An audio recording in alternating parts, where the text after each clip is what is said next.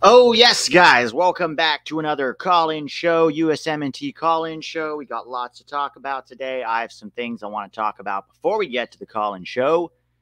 But the link to the call-in show is over there at the top. I've pinned it to the top, so get in there, guys who were here last week who I didn't get to. Get back in. Um, I think President Chip is helping to run things, right, buddy? You're gonna help make sure those guys get in first not the greatest weekend overall for compared to some of the recent ones. These last two, since the last camp, to be honest, it hasn't been great. But we'll talk a little bit about that. There's highs and there's lows, and we got to find some equilibrium and not live or die by weekend performances of our boys. But how are you guys doing? How's your weekend been? Uh, anybody got Halloween parties to attend? Halloween plans, BMR 209. How was your nap, Pete? I wish I had napped today. I slept very little last night but um, maybe maybe tomorrow. How are you guys doing? Kevin, how are you? Jacob, my NFL team lost and my day is ruined. Who's your team, Jacob?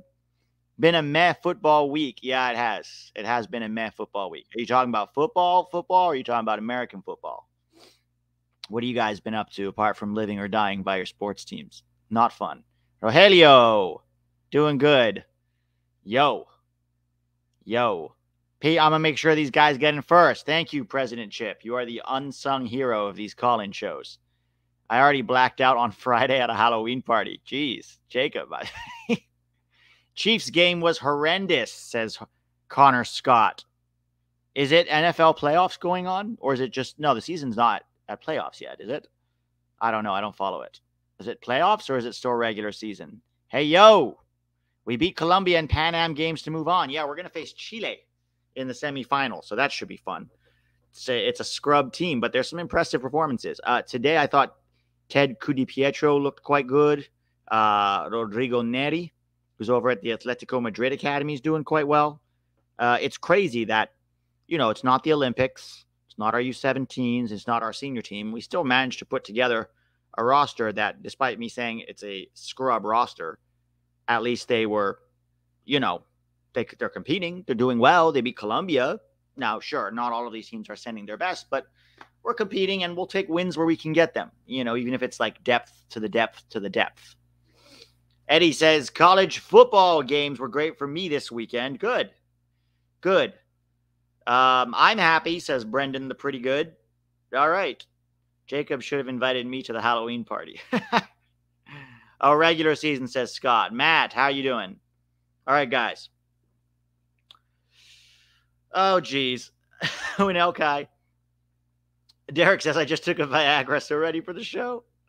Winelkai says, Hey, Pete, how's it going? Help me. I've been fighting on IG with an El Tri fan. Oh, no. For over three days, making fun of us while losing to Germany. And these Powell are overhyping a draw. Oh, these people are overhyping a draw. Yeah, look, first of all, fighting with El Tri fans, a fool's game. And I say this as somebody who's guilty of doing it myself as well. But when you don't have much else going on, you'll have to take a friendly draw with Germany as a big win because you don't have much else to hype up. So, you know, I don't really blame them for that, right? They'll, they'll take that's that, you know, they can't win a regional tournament. So, friendly draws, hey, that's progress, right? And, you know, their boy Santi is doing very, very well. It's about the only guy who is. Although, credit to Chucky, he got a he got a hat trick this weekend against Ajax. So, you know, good for him. Good for him. Kevin, what do you think of the first three of the first round of MLS playoffs? Yeah, we're going to talk about that here too before we get to the call in show. Let's talk starting with Miles Robinson to PSV. Multiple reports this weekend that Miles Robinson will make a free transfer to PSV Eindhoven this January. Now, his contract is up, right? With with Atlanta, he didn't want to extend and he wants to go to Europe. He's a free agent. Actually, I don't know when his contract with Atlanta expires, but if he if it expires before the end of the year, he can technically join them right away. I think.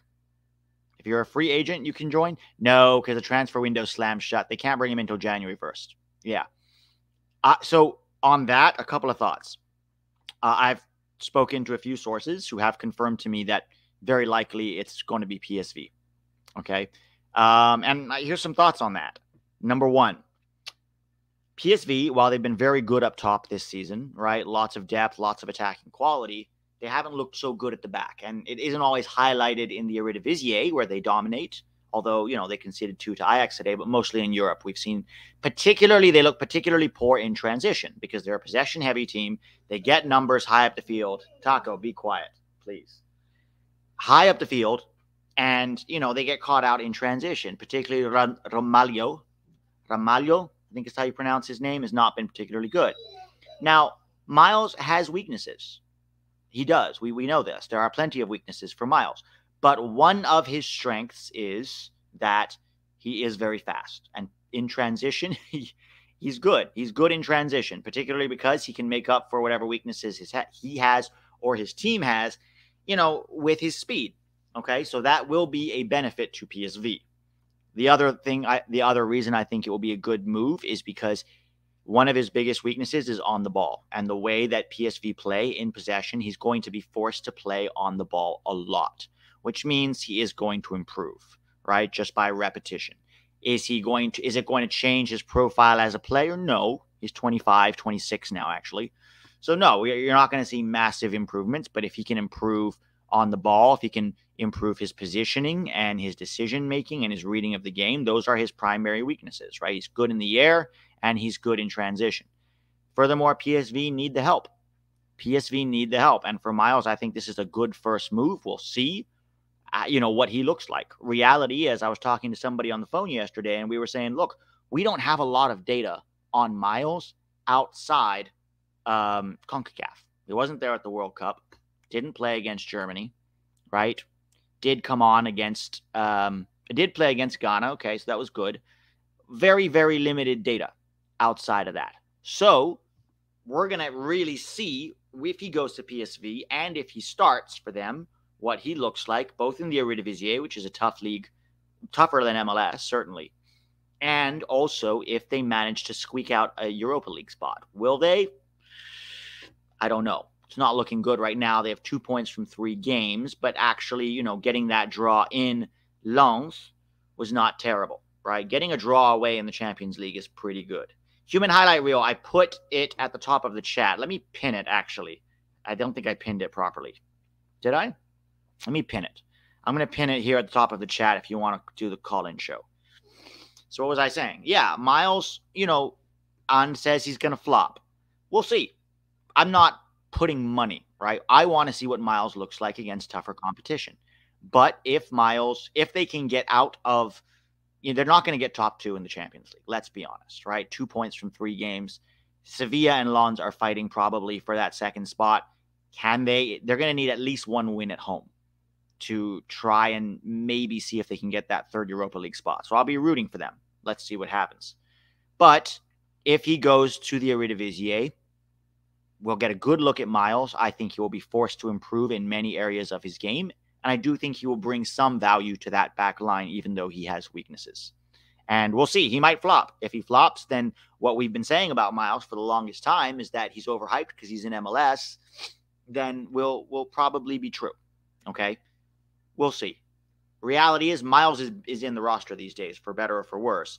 And Tack, I think, mentioned this on Twitter. But another good thing about him moving is it creates a culture of not being satisfied with mediocrity even if Miles goes to the PSV Eindhoven and doesn't play or plays and plays poorly, I'm still happy he's trying. I'm still happy he's going to go push himself, right?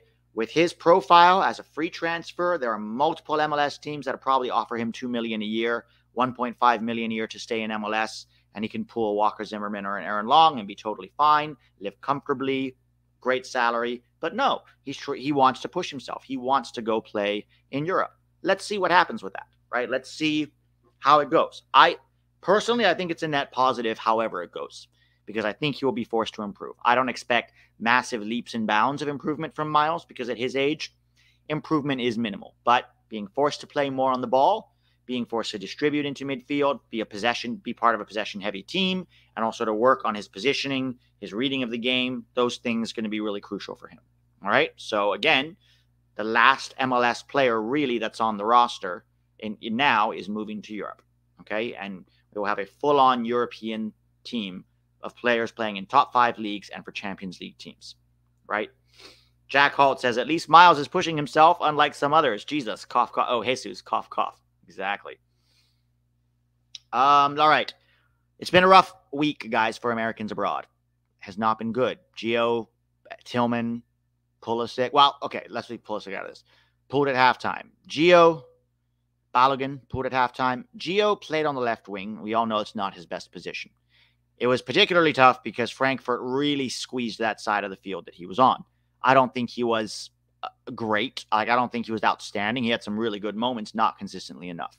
I don't think he was terrible either. I thought he tried, you know, considering the circumstances that he had. Um, he got pulled at halftime, whether it was a minutes restriction that was pre-planned or whether they felt that he was not good enough in that game. I don't know. Okay, but he got 45 minutes, which is a heck of a lot better than what he's been getting so far. Hopefully, he can keep pushing. Balogun had a terrible first half uh, against uh, Lille and was pulled. Pulisic had a good first half. Very nice assist, right? Very reminiscent of his first sort of hockey assist for Milan, where he cuts in onto his left, chips it over the wall to the back post, and then it was Leao who gave it to Giroud to score. Today, that little chip went straight to Giroud with a gorgeous backwards header into the net. He was unfortunately pulled at halftime, um, which they said was a flex. It was a, a, precautionary muscle flexor issue. So hopefully it's nothing too serious. Um, Pulisic and Musa have been getting lots of praise from Milan fans today. Good, good. Um, and then who else? You know, others had mediocre weekends, not terrible. Brenden Aaronson pulled very early on, had another very, very poor game. That's been disappointing. Sargent is still out injured. Pepi only got seven minutes. Tillman pulled at halftime, uh, and some criticism from the coach. Um, you know, Dest was fine, not great, not terrible. Paredes got his first start. Actually, I thought Paredes looked pretty good. I thought he was a good contributor in his first start for Wolfsburg, so that was encouraging to see. Uh, Matt Turner with a terrible, terrible mistake. Um, and, you know, it's just, it's not encouraging this weekend. It just isn't. That being said, we tend to get too high when it's a great weekend, when our guys do really well. We're, you know, top of the moon, and then we sink really low when it's not going well. So we just, I think, have to find that equilibrium and understand that we can't live or die on their performances. I think overall, the arc this season is significantly more positive than any other week. I mean, uh, than any other season. This season so far, for me, has been the best USMNT abroad season so far.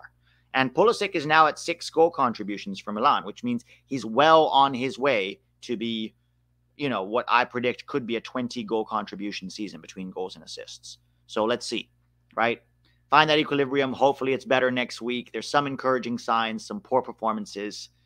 We move. We keep going. Austin Trusty, I actually thought was a lot better than the scoreline showed. He did get cooked on the first goal that Sheffield United lost 5 0 to Arsenal on rewatch, somebody on Twitter told me to rewatch it again, and I did rewatch it again. The ball did deflect. It was a very good touch from Eddie Nketiah, and he, you know, he sort of cooked, he cooked Trusty. But other than that, I thought Trusty was quite solid, and even Arsenal fans were praising him and saying, "We sold this guy for four million to Sheffield," and he, and they're right. I think playing out of position for a very different a team that's very very poor you know, is tough, but good. You know, you know his last two games after becoming a starter, Man United and Arsenal. So I'm I'm fine. He's going to be a starter all season long. Sheffield United will probably get, you know, relegated. Um, but this will serve him very very well. And It's encouraging to see that he can at least hang in the Premier League, even if he isn't outstanding right now. Okay. Uh, let's move on to Alex Zendejas. Now, Alex Zendejas, let me pull this up here. Let me pull this up. Now, Alex Zendejas had a very, very, very, very poor World uh, Gold Cup. Maybe poorer than, you know, we've seen in, from any player at that level, right? Even a lot of the MLS lifers outperformed him in that World Cup. He might have been one of the worst players on that team. And it made a lot of people start to doubt Alex Zendejas, which is certainly fair.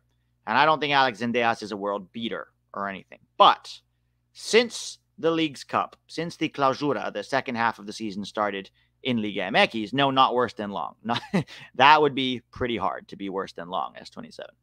But since he started in Liga MX, he's got four goals and three assists in just about, let me see it down here, 839 or so minutes. Now, here it says three and three because for some reason they didn't count the uh, the goalie, really nice goal, Golazzo, he scored against Monterrey. On Transfermarkt here, you can see it says that it was today, it was yesterday. He scored a really nice. And I've been watching these goals and assists and a few of his performances as well. He they aren't tapping goals that he's scoring. They're really nice, like Golazzo's curlers into the far corner, you know, 1v1 goals, beating players. There is definitely still something there. And yes, it's Liga MX, right? We have to acknowledge that. So it doesn't mean anything. Liga MX is not, in my opinion, below MLS, guys. You, you can't look at Leagues Cup and, and take that as a serious reason that Liga MX is below MLS. But I will say it is, yeah, it is Liga MX. And if he can keep up this form of, you know, roughly one goal contribution per game, he could still be a depth piece option at that wing spot for reasons that I'll explain. We have right now, Pulisic and Weah are locked in starters. Aaronson, for better or for worse, is about the same. I mean, is there, right? He's not improving. Then you've got young upstarts like Taylor Booth, who can't really stay healthy. Kevin Paredes is in the mix and Alejandro Zendejas. Now, assuming we get Koleosho, which it seems could happen, not right away, but next year, then okay, Luca Koleosho is, is that third option. Now, here's the question What if we get Wolfsburg to release Kevin Paredes for the Olympics? Um, now you've got maybe Booth and Paredes at the Olympics. So now who's our fourth winger? If not Koleosho, then Zendejas is in there or thereabouts. It's too early to say. And he needs to start doing this consistently on you know, for Club America. If he's, you know, getting a goal contribution every game for the rest of the Clausura season, then maybe we bring him in in November, right? Maybe we bring him in in November and and just kind of see. Why was he terrible at the Gold Cup? I don't know, man. I, I think that even if you watch his performances in Club America and his previous performances for the US, I don't think I've ever seen him that bad. It could be multiple reasons. There could be stuff going on. Maybe he tried too hard. Maybe there was something going on in his personal life that affected him. But I think even if you don't want Zendejas on the national team, I think it's fair to say that the level that he showed at Gold Cup is not his level. It's not really his level, right? Um, so let's see. Let's track him. We'll, I'll continue to track Zendejas throughout the season at Liga MX. There's definitely something there with Zendejas. I don't think he's ever a starter for us or even a first guy off the bench. As a depth piece, let's see. All right. Let's also talk about the under 17 World Cup because that roster was released this year. I mean, this week. And, oh boy, I have some real questions about this roster, guys. They are going to be participating at the under 17 World Cup. And this is the roster. I didn't do a whole video on it because it's the under 17s. To be honest, a lot of people don't care. And I'm not even going to be able to watch a lot of these games because the first of all, let me say, let me start off by saying that FIFA, this is being held in Indonesia. FIFA gave this tournament after kicking Indonesia out of the under 20 World Cup because they refused to allow Israel to play, even though Israel has qualified. So they take that one away from him and they're like, oh, don't worry, we'll give you the under 17 World Cup. Maybe, just maybe, if you are not allowing other countries to participate because you don't like them from a geopolitical standpoint, you shouldn't be hosting FIFA tournaments. And maybe it's absurd for FIFA to give them this under 17 tournament, which, by the way, most of the world isn't going to be able to watch because of the timing. The time zone is terrible. It's super early. At, well, no, that's not fair, Pete. Europe and Africa, will get, it's a pretty good time zone for them. For us, it's super early in the morning. So we're probably not going to be able to do live streams. But let's get let's take a look at this roster here, okay? So, uh da da da da da Gonzalo Segares names 21 pl- player roster for 2023 under 17 World Cup in Indonesia. USA will face Korea, Burkina Faso, and France in the group stage. All right, let's take a look. So the USA kicks off Group E play on Saturday, November 12th against Korea, 8 a.m. Eastern Time. That's not bad for y'all on the Eastern Coast. For me, that's 5 a.m., so not great. Then Burkina Faso on November 15th at 5 a.m. Eastern Time. That's 2 a.m. for me on, on the West Coast, also even less great. And then they finish the group stage versus France on Saturday, November 18th at 8 a.m. So not great timings, to be honest. Um, if I'm awake, I might try to do one of these, but I don't know if you guys even care about the under 17 World Cup. The timings are rough. And I, I really have questions about this roster. I'm about to go through it here. This was the roster, okay? Goalkeepers Adam Beaudry from the Colorado Rapids, Zachary Campagnolo, and Duran Ferree from San Diego Loyal, and also from the Colorado Rapids. The big miss here, obviously, is um, you know, Diego Kochen, who's injured. And that's really disappointing because I think this was going to be a huge tournament for him um, to show his stuff. Injured makes us definitely, definitely weaker. All right. Defenders. Noahkai Banks from Augsburg. He was not in the CONCACAF qual- championship that qualified them for this World Cup. And I know very, very little about him as far as the actual profile. Tyler Hall was, I thought, one of the better performers. Um, he plays for Inter Miami. He was one of the better performers at center back. Aiden Harangi, I thought, had a good CONCACAF tournament. Again, it's CONCACAF, so let's keep that in mind. From Eintracht Frankfurt, Stuart Hawkins from the Seattle Sounders, Tahir Reid-Brown from Orlando City, and Oscar Verhoeven from uh, San Jose Earthquake. So Verhoeven is a right back, can play left back also, and Aiden Harangi is a right back. What's interesting is Ramirez, who actually played uh, plays for LAFC. I think it's Christian Ramirez was his name. I think it was Christian Ramirez, the LAFC center back, who was quite poor, even in the CONCACAF thing, was not included. You know who's really missing from this roster, though? Matai Akinmboni. I don't understand why they don't rate Matai Akinmboni, who, by the way, has two MLS starts. One of them as a 16 year old, and they are sent as a center back. Good on the ball, has a good physical profile, reads the game well, looks sometimes a little overmatched in MLS, but I would expect that of any 16 year old center back. So I don't understand why they don't rate him at all. It, it's very baffling to me because for me, if you are earning, you know, MLS starts, you can definitely play for the under 17s. So that one is a bit frustrating because I thought he would have made our our defense better. We didn't get Christian McFarlane. He's with the uh, with England, and that's a big disappointment because he's a really highly rated, um, highly rated left back. Okay, midfielders: Matthew Corcoran, FC Dallas kid, on loan to Birmingham Legion. Haven't seen a ton of him, but people I know in Dallas speak very, very highly of him. Taha Habroune from the Columbus Crew. He had a really good, uh, very you know, very strong Concacaf championship with the under 17s. Um, can play as an eight, can play as a 10, contribute to goals, assists, technical profile. Cruz Medina was not as impressive as we expected him to be in the CONCACAF championship, but still makes this roster. We'll see what he looks like. Peyton Miller from New England Revolution is there. Uh, he was not there, I don't. He wasn't there in the CONCACAF. Neither was Santiago Morales. Paulo Rudisill was. And I have a feeling Paulo Rudisill might have to end up playing some left back. Um, he'll mostly play left wing. And then you have Pedro Soma, who's probably the best player on this team right now with Keyrol Figueroa, and maybe Nimfasha Berchimas, who we'll talk about in a little bit. Um, this feels like a midfield for me of probably, obviously, you know, um, Pedro Soma at the six, and then maybe a Cruz Medina, Taha Habroune attacking midfield duo. Matthew Corcoran is a bit of a six as well, but still quite young. Uh, Paulo Rudisill will play some. Maybe he'll play central. Maybe he'll play some wing. It'll be interesting to see, you know, where Segares uses him.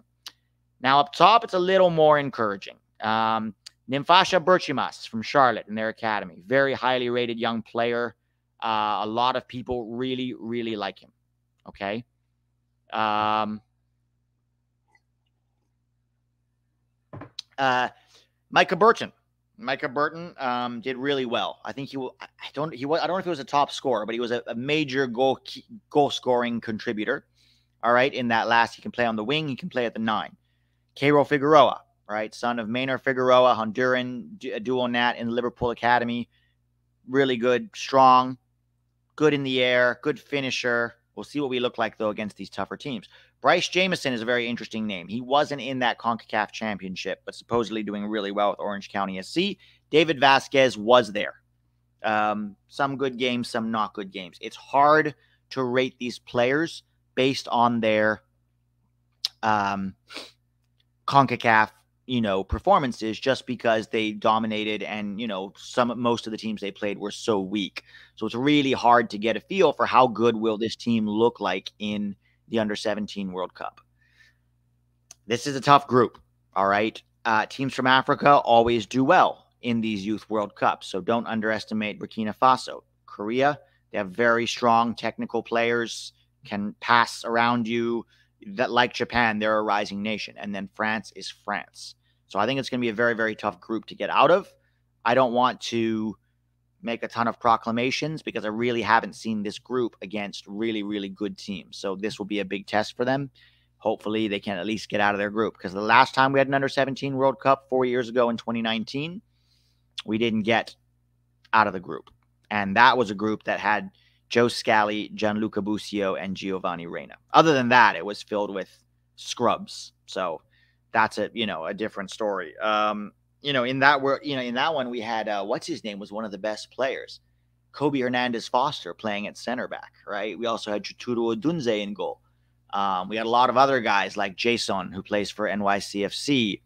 Um, but other than that, it was really just Scally, Busio, and and and Reyna who like came out of that group. It was a very disappointing group overall. Let's see what this guys, what you know, these guys look like. Couple of super chats to read before we talk about the MLS structure. Oh, Adam Phobos, thank you so much for joining, man. Really appreciate it. Devonta Joan Jones, BS Indo, they got it. BS Indonesia, they got it. Not the same thing, but the U.S. has been known for denying players, not whole teams, to enter our nation when we host things due to strict laws. Cuba gets screwed over due to our poor relations. Cuba comes every single time, buddy. Cuba comes every single time when there's a Gold Cup or whatever, and then half their players leave. So, also denying individual players if they have a criminal record is not the same thing as denying a whole team because you don't like their geopolitical existence. That is a very different thing. Furthermore, there's nothing that U.S. soccer can do about that. Uh, if if if U.S. laws don't allow somebody to enter the country, if oh Pepe, thank you, Shafi Chowdhury. Pepe was in that under 17 World Cup group also. Forgot to mention that. Um, that's not that's not something that U.S. Soccer or or Concacaf can do anything about, right? And there is an argument that if you have a criminal record, you like if I have a criminal record, where I remember when I was in India for seven years. And every time I had to renew my visa, they did a global background check on me to make sure I didn't have a criminal record. And if I did, they wouldn't allow me in either. Many, many countries have that. Okay. Um, so you can't just say, I don't like this country, so they shouldn't, so we can't host them and then host what? If you want to host World Cups and global tournaments, you have to be willing to let every team in who qualified. And I think that's a drastically different thing. Um, Adam Fobles says, I know it's the SPL and he is only playing for Aberdeen, but do you see Dante Polvara coming onto the team just for depth? I mean, he plays in a position of need as a winger. Um, he is scoring a few goals here and there for, um, you know, for uh, what's their Aberdeen. I haven't seen enough of him to really comment on him as a profile, but I will say in the Scottish League, Although we have CCV there, so and Tillman we called up while he was in the Scottish League. So maybe I need to see more of him, honestly, Adam. I haven't seen enough of Polvara to say he should come. I would say right now Kevin Paredes and and uh, Taylor Booth probably have greater greater shots at this team. But maybe. Russia has been banned. Okay. But when Russia was banned from the World Cup, which by the way, I did not agree with. I don't agree with banning soccer players from playing because their government does something terrible. And as Americans, especially, I don't think we should be too precious about that because America is far from perfect with our international uh, foreign policy either. I think that FIFA banned Russia. It wasn't like Qatar said, we're not going to allow Russia in. FIFA banned Russia. And by the way, I disagreed with that. I know what Russia should not have invaded Ukraine, I don't think it has anything to do with the Russian soccer players who are just trying to make a living. Okay. Um, so it's very it's a very, very different situation, Charles. That's that's my honest opinion. Let's talk about MLS playoff structure. And guys, the verdict is out. It's garbage. The new structure and why this structure has been implemented is very obvious. It's a marketing money making decision as opposed to a sporting decision. So very short sighted. you get three games. All right. Two games I would understand to make it fair home and away. One game was better because you give a clear advantage to the higher seed, and the lower seed has to play one game away, and that makes it a hell of a fun game because it's all the stakes. MLS regular season has so few stakes already. The one fun part was the playoffs because they had stakes. Now, Don Garber and his cronies have taken a vacuum cleaner and just sucked all the stakes out of that. Okay? Three games, two at home for the higher seed, one away for the lower seed, or one at home for the lower seed, two away. So you can win, you can get out of that playoff series by scoring zero goals and losing and conceding five. How? Because they don't have draws anymore. You're not allowed to have a draw. Each game must have a result. So if you manage to get a nil-nil draw at home and win on penalties, and a nil-nil draw away on and win on penalties, and lose the other game 5-0, you will have scored zero goals, conceded five, and still emerged from your group. How is that fair? How it also incentivizes teams to, to play for low scoring draws. It does. It sucks a lot of the fun and a lot of the stakes out of each and every game. And the only reason they do it is because they're trying to get every team a home game so they can sell tickets, so they can make more money at the cost of high stakes quality soccer. Quality soccer, or at least intense soccer, comes from stakes. And your regular season already has so little stakes that now you're like, okay, even the playoffs, which had some stakes, we're going to try to suck all the stakes out of there too. I hate it. And it's just emblematic of everything that MLS is trying to do marketing and ticket sales, not building a credible league. It continues to be the Disney Mickey Mouse celebration of soccer league. And it's just frustrating. Like every time MLS, you think, oh, can they start to make some progress here? They take a gun, they shoot themselves in the foot. Pow, pow, pow. But don't worry, we sold a few thousand tickets on that extra game, so a little more money into the coffers. Ah, I don't understand. I don't understand what MLS is doing, guys. Very, very silly. I would understand two legs a little more, although I don't think you really give an advantage to the higher seed, and I think the higher seed should have an advantage. So just have one game. That's what you get for not making it into the top six. You have to play away. You still have a shot, but it's harder. The higher seed should actually get a significant advantage in sort in order to incentivize getting a higher seed. What's the difference between being ninth and sixth now? Right? You, you should be happy with ninth because essentially, yeah, you have to play two games away, but you still get your home game and you can go away and bunker. And if you have a good goalkeeper, take your chances on a penalty shootout and you could still emerge. Frustrating. And they keep, exactly, Charles, they keep tinkering with the format every single season. So you have a real lack of consistency right? You don't know as a fan, how is this going to go every year? You're like, well, let's see what MLS decides to do. Oh, here's this fun new playoff thing we're going to try because the owners are complaining that they only finished ninth and they're mad that they aren't able to sell tickets to the playoffs. Feels like MLS will never learn. They just keep doing dumb things over and over again and then getting mad when people don't give them credit for being a serious soccer league. We want to be taken seriously then take yourself seriously. Right? All right. Who's ready for a call in show? We got a lot of people here that I'll bring up. Let me just. Let me just pull up the Discord. If you guys want to call in, hop in the Discord. Um, we have a lot of people waiting. The link is pinned to the top of this chat. So hop in the Discord and President Chip will bring you into the next up room, and then I'll drag you in here. So, first up, let's see who we have waiting. One of the best. Hello. Hello. Hey, uh, hey, Pete. How are you? I'm good. What's your name, buddy? Uh, it's Lewis. Hey, Lewis. Hi. Uh, I called last week, so I'm glad to uh, enjoyed it. So I'm glad to be back here. Hell yeah. How I thought President Chip was gonna was gonna bring the guys up first that didn't get a chance. no, but you're cool. What's up?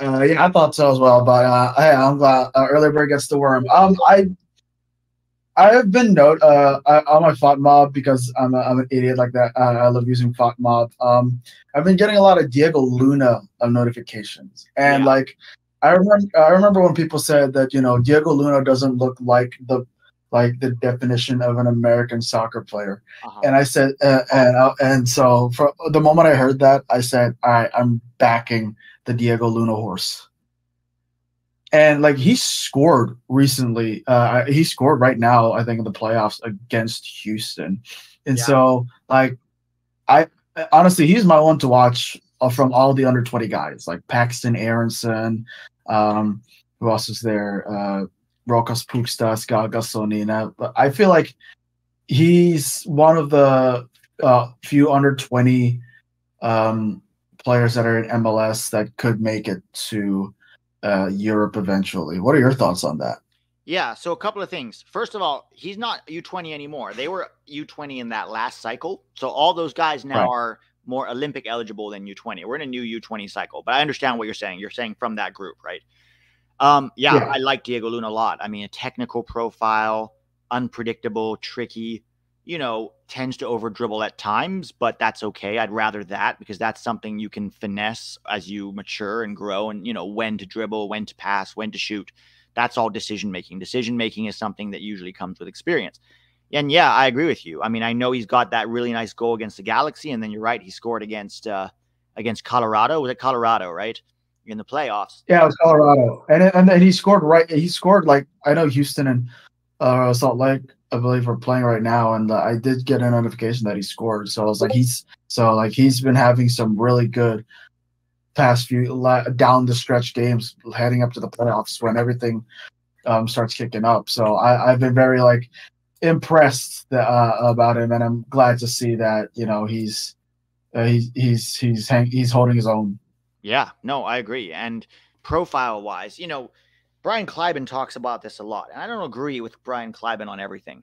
For example, he thinks that, you know, Sam Vines has a better profile than, you know, uh, Anthony Robinson. And but but he does make a good point about sometimes we we look at pedigree over profile, right? And if a player is playing Right. in a higher league, we go, "Oh, he's a better player."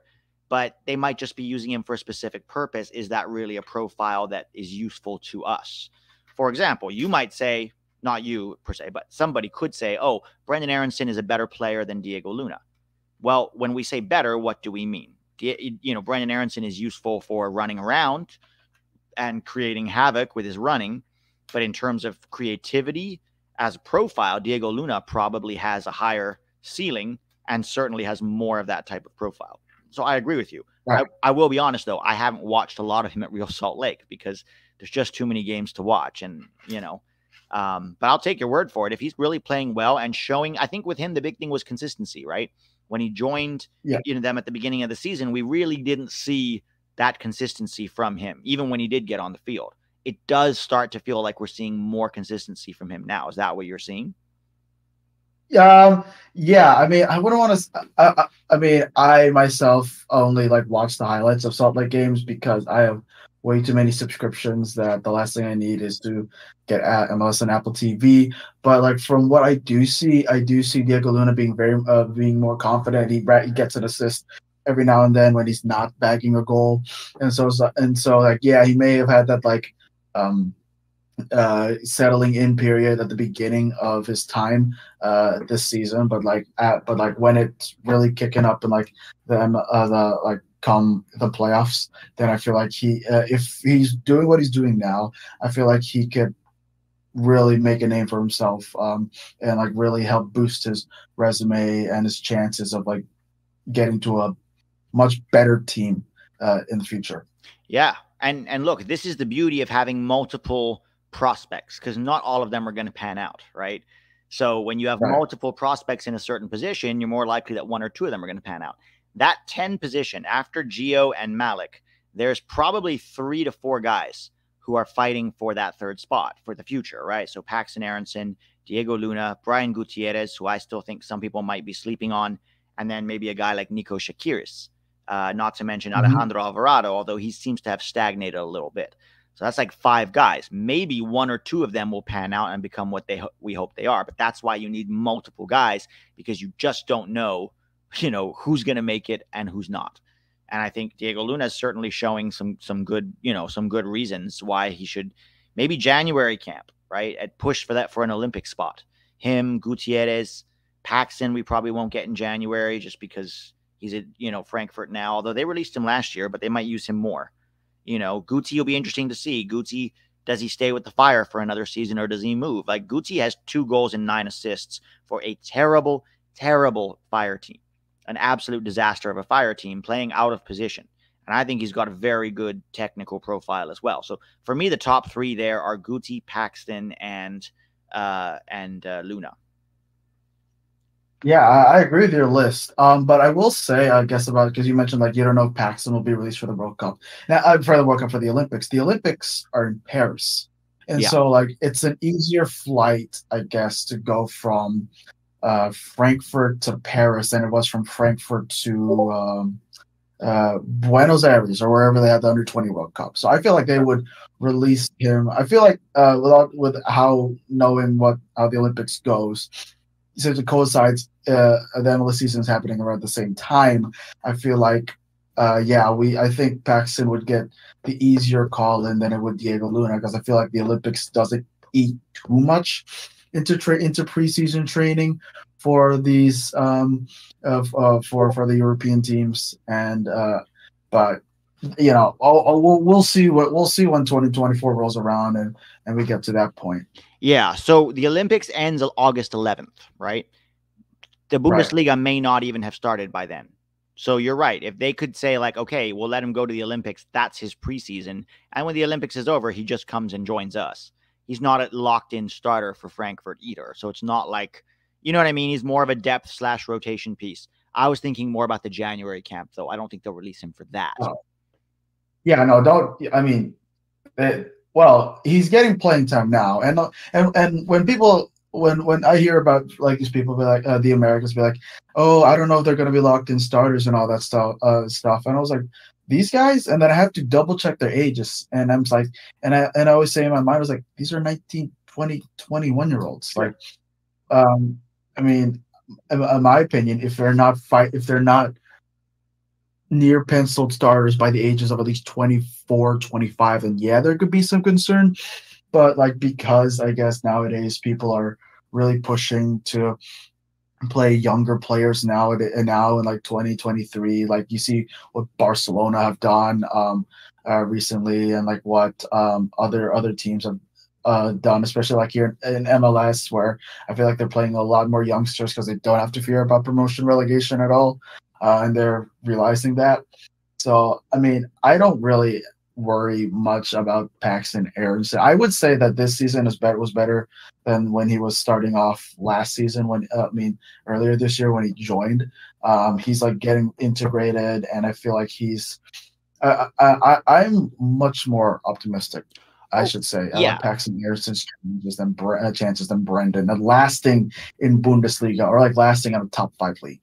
Yeah, so I wasn't actually placing a value judgment on Paxton. I was just using it as if he is not a locked-in starter to them, they for them by then they would be more likely to let him go as opposed to if they said, you know, well, he's a big player for us and we need him for that last 2 weeks of preseason leading up to the start. So it wasn't a value judgment on it's not good. It was more of like the fact that he's not a locked-in starter could inadvertently benefit us. I actually think that the European players would have an easier time getting released for Olympics because it's it's preseason for most of these clubs, but preseason is not the end of the world to release a player as opposed to MLS where these players are in the thick of a big season, possibly even Leagues Cup. So I mean, I don't Right. know. Is is Chicago going to release Brady or Gutierrez? Is Real Salt Lake going to re- release Luna for the Olympics in the middle of the season? I don't know. That's what I'm curious to see. I feel like if yeah, I get that. I feel like if Gaga though gets released for from uh, he'll probably be back from Eupen uh, the, the Chelsea Academy. Yeah. I think he would be if, Gaga gets released. Would Chicago look at that and say, "Well, there's no chance in heck that Chris Brady will start over Gaga Slonina, so why are we going to bring him in?" Yeah, it's possible. It's very possible, and maybe Antonio Carrera gets his chance then. I don't know. It's possible. Yeah, if they indeed. release Gaga and then, but you know, there's an argument that Brady might start over Gaga. As some people have. I don't know if I agree with that, but I don't think the gap between them is huge. Speaking of Gaga, real quick, he had a really good game this weekend for Eupen. That's why he's, he had a shutout against um Charleroi, and I was like, yeah. good for him. He's uh, they're he's they're they're um getting he's getting used to the environment, which is good because I've looked at the teams that have Americans in Belgium, and, and they're all around well outside of um McKenzie and Vines, Brian Reynolds, Griffin Yow, and uh, Gaga Slonina. There, I think they're I think they're down on that uh, relegation window, especially Westerlo. Yeah, it's more just reps for Gaga right now. It's what he needs. So yeah. Have you, the Greg, uh, uh, Pete? Did you see Greg Berhalter was at the Mönchengladbach versus Heidenheim game? I did. Yeah, he's on his little European tour. The vibes are not Yeah, great they- when they- Greg shows up. No, I saw I saw him on TV, and I was like, oh, see, that's why the match was subpar in quality. It wasn't as exciting as the um as the uh, uh Munich Darmstadt game that was happening at the same time. Those three red cards. the aura is not there. The aura's The not there. not there.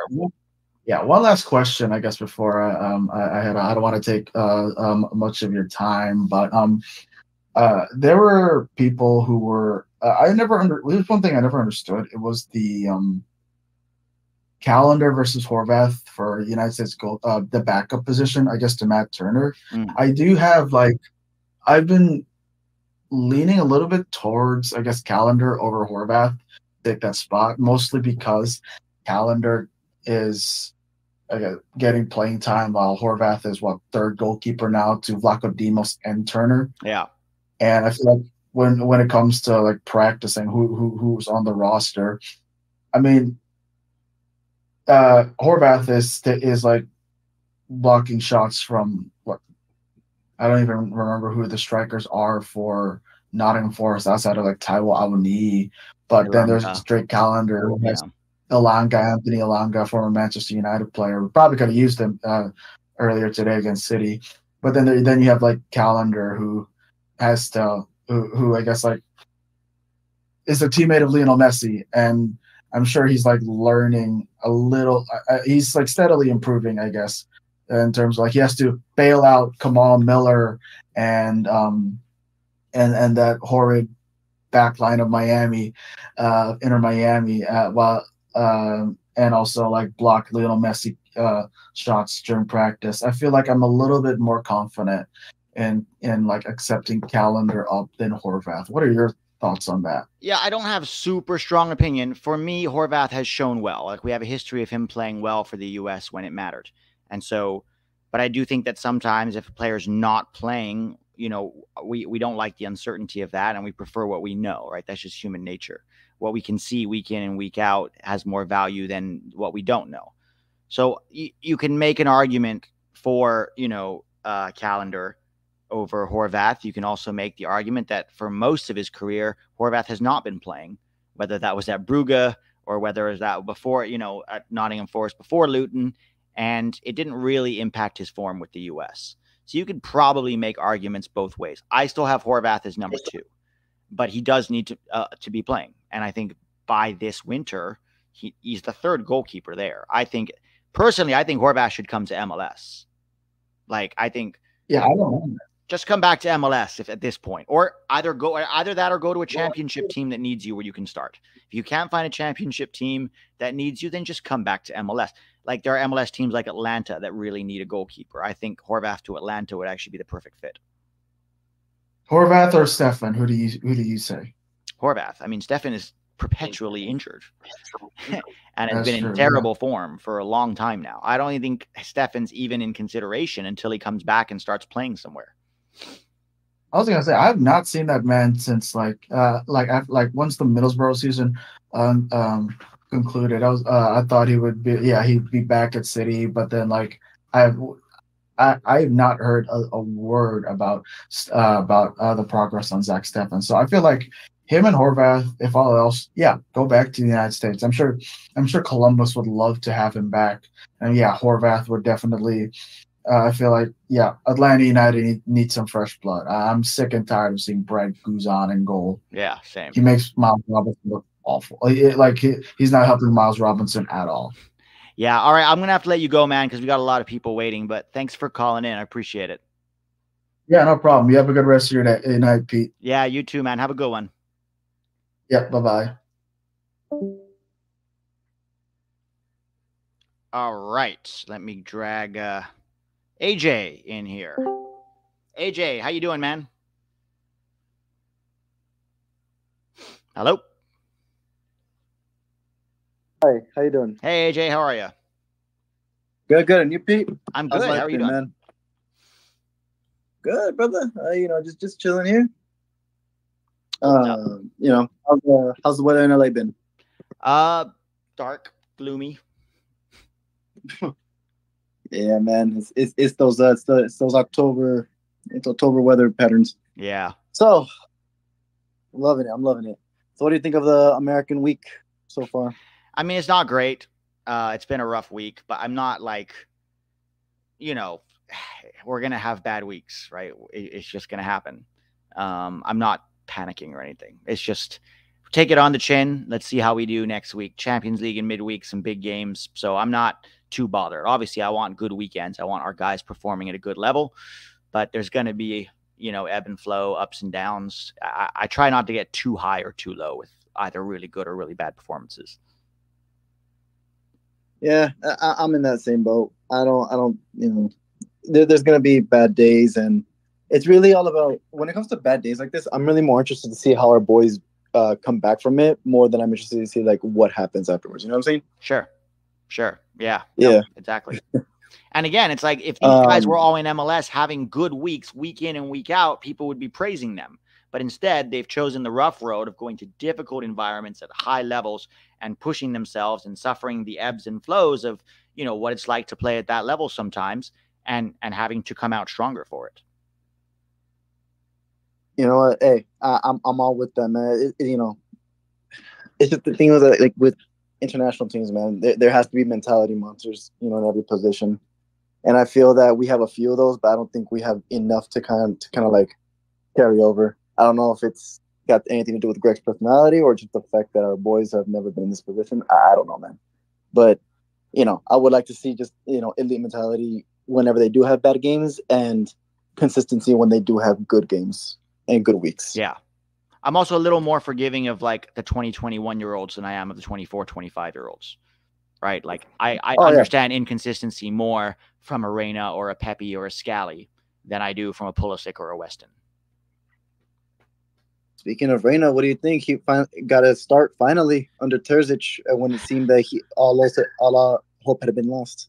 He didn't take it for sure. Like I wanted him to do more with that start. Um, he started very brightly, created a chance early on, had a really nice dribble too, in like the 10th or 11th minute, beat a couple of players, cross was cut out. But Frankfurt were also squeezing that right hand side pretty heavily, and him on the wing, it just wasn't really working. And part of that was the way Frankfurt were playing. Part of the way that was that Dortmund was way too slow in the buildup, and that didn't help him. But I don't want to make excuses for him. He had to do better than that if he wants to start more regularly. So that was a little bit disappointing. Yeah, man. You know, it sucks when our when your favorite player doesn't take the chance they've been given. Sure. But we know we know we know there is a player in Reyna. We've seen it before, Yeah. and unfortunately, you don't choose bad days. Bad days choose you. So Yeah, I mean he's he was very he's been good off the bench the last few times. This was his first start for them this season, playing out of position. It didn't work out, but I'm not too worried. I'm I mean I'm more worried they might not give him another start for a while. But what can he do? Get your head down, grind, keep trying. You know, it's DF, DFB Pokal this week, I believe, not Champions League. So maybe he'll get another start. Hopefully they start him central because that's where he can really impact a game. You know. I gotta say, I was shocked when I saw him play against Newcastle. I'm like, okay, yeah, you know, it's like what the fourth and fifth sub next. What are the odds Gio Reyna gets on the field? Yeah. he got on the field, and honestly, I don't really have a rating for him. He's just he was just he was there making passes. He had a foul that I thought was going to cost Dortmund like in the, in the dying embers of the game, but thank God it didn't go against him. Yeah. Almost did though. Almost did. Yeah. Ooh, man. But um, So I actually had a question I wanted to ask you. I, I gotta pick which one of the three A that I wrote down. Do you think? Okay, here, here's a good one. Do you think Balogun, like, do you think Balogun being upset in the last camp, like, like the one where we played Uzbekistan and Oman, do you think him being upset with Greg's tactics had a had a hand to uh, played a hand in like Greg's new formation and like new way of playing, or do you think that's just a coincidence that Greg changed it up? Possible. I don't know. You're asking me to speculate here, so I I think that Greg, you know, we saw the 4-3-3 in the first camp, a little bit with Tillman when he was there, and then now that Gio's back 4-2-3-1, I do think that Balogun mentioned very specifically he likes playing with Gio.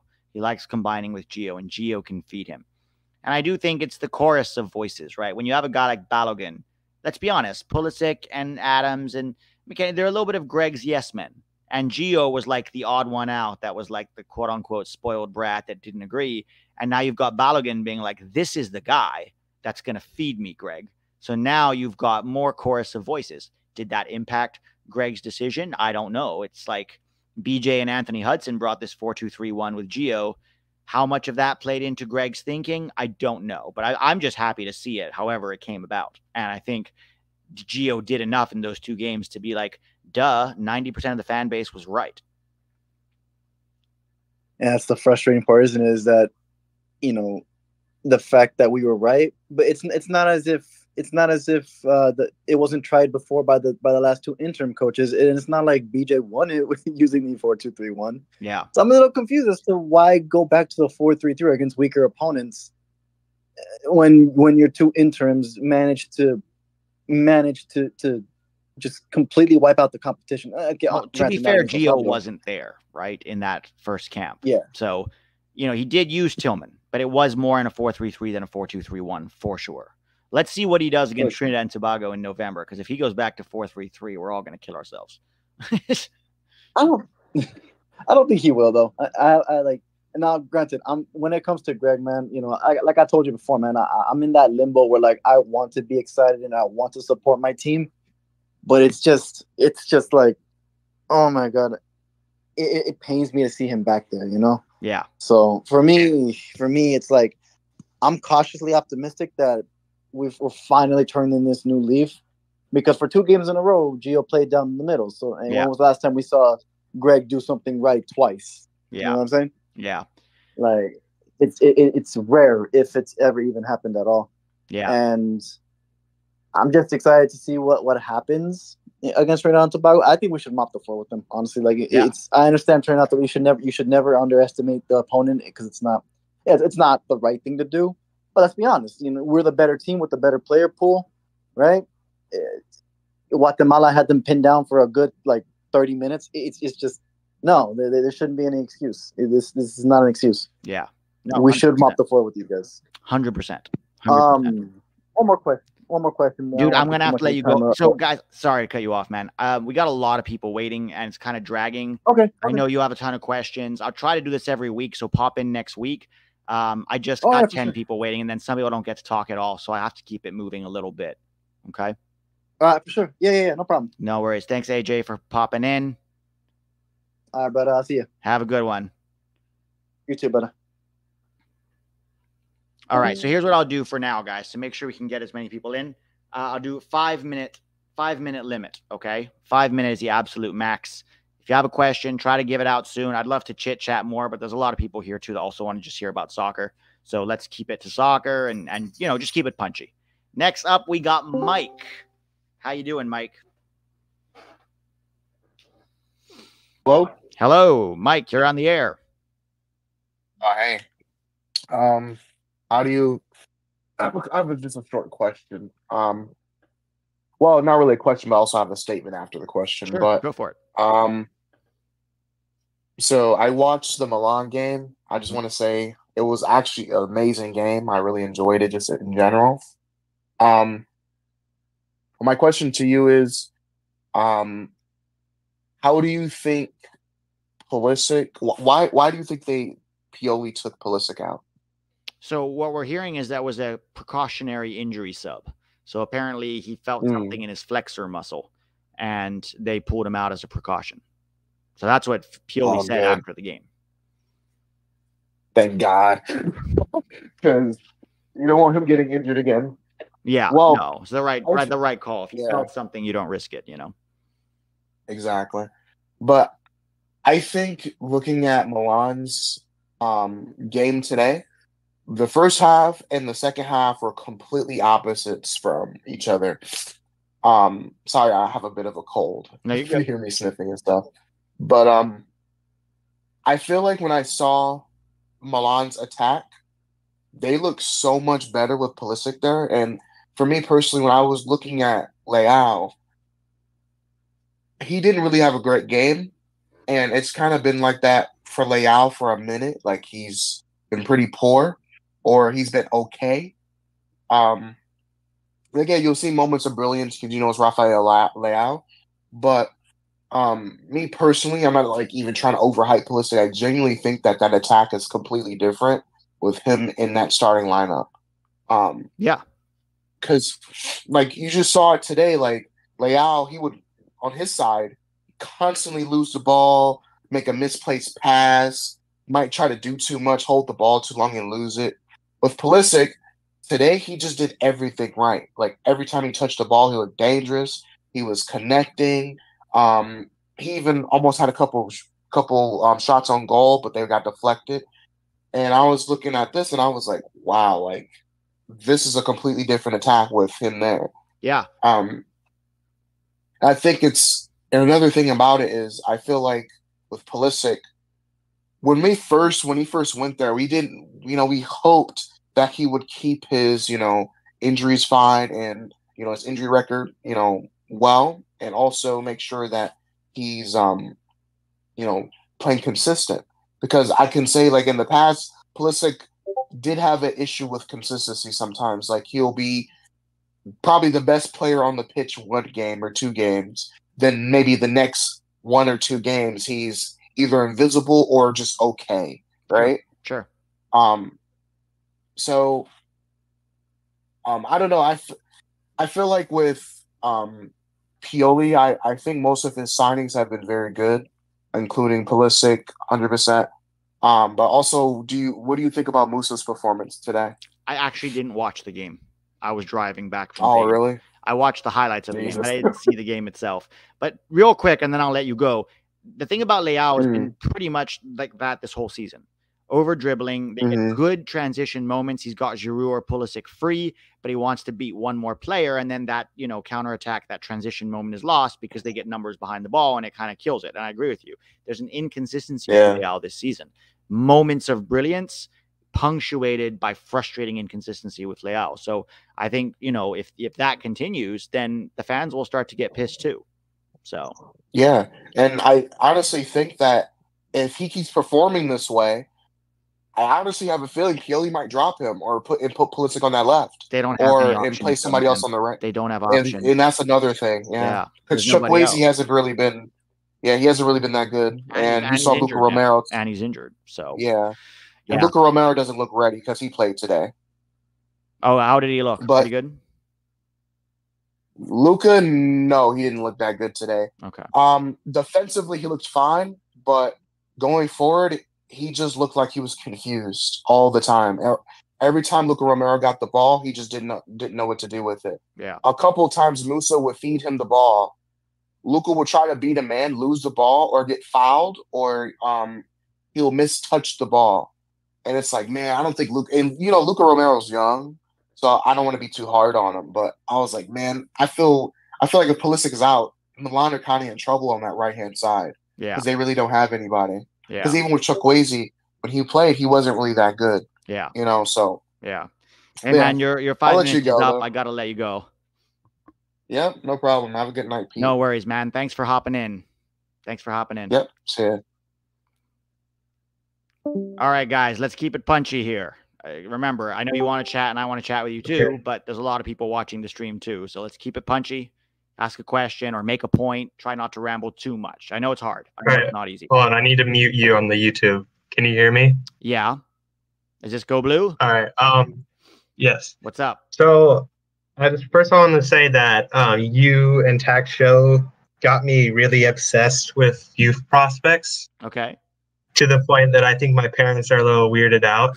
But I wanted to do the public a service by kind of analyzing really quickly the U17 roster because I know you don't know all the players, but I do. Okay, If that's I- all right with hang you. on. I don't know if you should do that on the call though, because you got a very limited amount of time here. Um, I can go through it in five minutes. in five minutes, can you do it in three minutes? I can do it in three minutes. All right, give us your quick thoughts. Okay, one, the goalkeeper room is very bad. Yeah. There are three goalkeepers ahead of them that were not called in. One was Kochen because he got injured.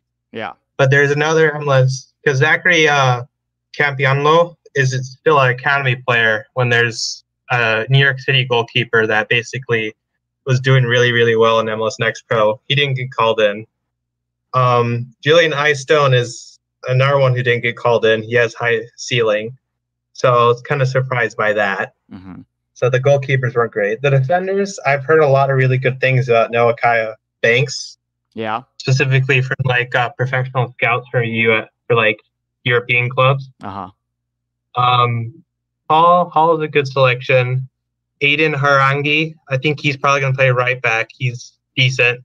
Hawkins is fine as well, but really Matai Akinmboni is the biggest miss here. He's definitely one of the better center backs. Yeah, I don't Banks. understand that exclusion at all. Tahir Reid-Brown, solid left back. Um, surprised Payne Miller wasn't listed as a left back. That's the one guy that is probably better than him. Uh, Verhoeven's also the best right back. Cora Coran, uh, if I pronounce that right, very good prospect. Uh, he was kind of snubbed for a while. He's doing well in USL Championship. Uh, Bruin is another good center mid.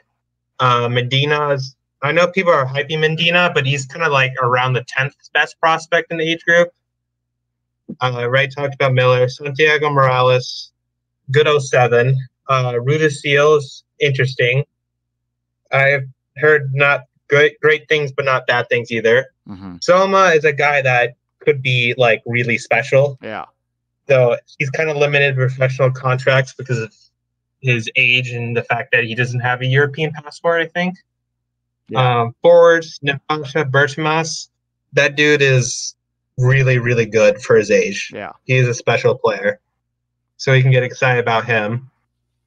Uh, Burton, decent, pretty good. Uh, Figueroa is probably the best striker, though I have no idea why we didn't call in Caden Glover. That one also kind of made me question. That's the Is he uh, doing St. pretty well? kid, right? Caden Glover. Yeah, Yeah. he is. Uh, Bryce Jamison, good winger, solid. David Vazquez, around the same. But the one other giant snub I want to talk about is uh, Christopher Olaney for Philadelphia Union too. Uh huh. He was a center mid that's been balling out. So I don't know why I didn't get called in. But yeah, that's kind of the quick, rough outline of the team. Cool, man. You did that in three minutes. I'm impressed. I didn't think you'd be able to. Well, yeah, it's basically I've been spending my free time learning as much as I can about the youth national team system What's your name? and my club in the club system. It's too complicated. That's all I'm gonna say. Is this Alex Calabrese? Because you sound like Alex Calabrese. Um, my name my name is Alexander, but it's not my last name's not. My name's Alexander Rosas. Oh, okay. Because there's a kid, a Chicago kid who you kind of sound like him. His name's Alex Calabrese, and he's an Italy fan too. So when you said "Go Blue," I got suspicious. You got yeah, that that's fair. Um, so I think I'm, am my am my neighbor? I'm a kid from Portland. I don't play for Portland Timbers, but I'm in that area. Gotcha. So soccer is definitely the dominating sport here. yeah. Cool, man. Well, thanks for hopping in. I appreciate it. Thanks for talking. I won't take up more of your time. No, no. I don't know how to remove myself though. Thanks, man. Thanks, Alex. You have a good one. Okay. Bye. All right, guys, be a little patient while we figure this out. Like, there's going to be, you know, hitches as we go and figuring out timing and the best way to go. Um, but so be patient. I know it's like a little frustrating for some people. Maybe you want, you know, it's too long or whatever. We'll figure out. We're figuring this out as we go. So just be patient. Danny Sizzle, what's up? Hey Pete, how's it going? Good, man. How are you? I'm doing great. Uh, I wanted to ask you a question about player development. Sure. And more specifically about developing strikers. Mm. I'm sure you're well aware of the fact that, you know, the modern game, it's really difficult to develop strikers. That's part of the reason why uh, Erling Haaland is such a, you know, so well known because not only is he an elite player, but he's doing it at a position that is hard to come by nowadays. Yeah. You know, you look at all the best national teams in the world, and a lot of them are having issues. Germany, Spain, right? hmm All of them are having trouble producing, you know, elite strikers. Yeah. Even the teams that do have elite strikers, like France and England, their best strikers are above 30 years old. Right. So, so even uh, at the youth level, you see um, the United States having difficulty producing strikers. We were forced to play, I think it was uh, Quinn Sullivan at the striker position at one point, Paxton. and that's also. you know obviously not ideal. Yes, yes, um, which is. Oh, I'm also very excited that we got Fuller and Balogun for that exact reason because it's a lot easier to poach strikers from other nations than it is to develop them. yeah.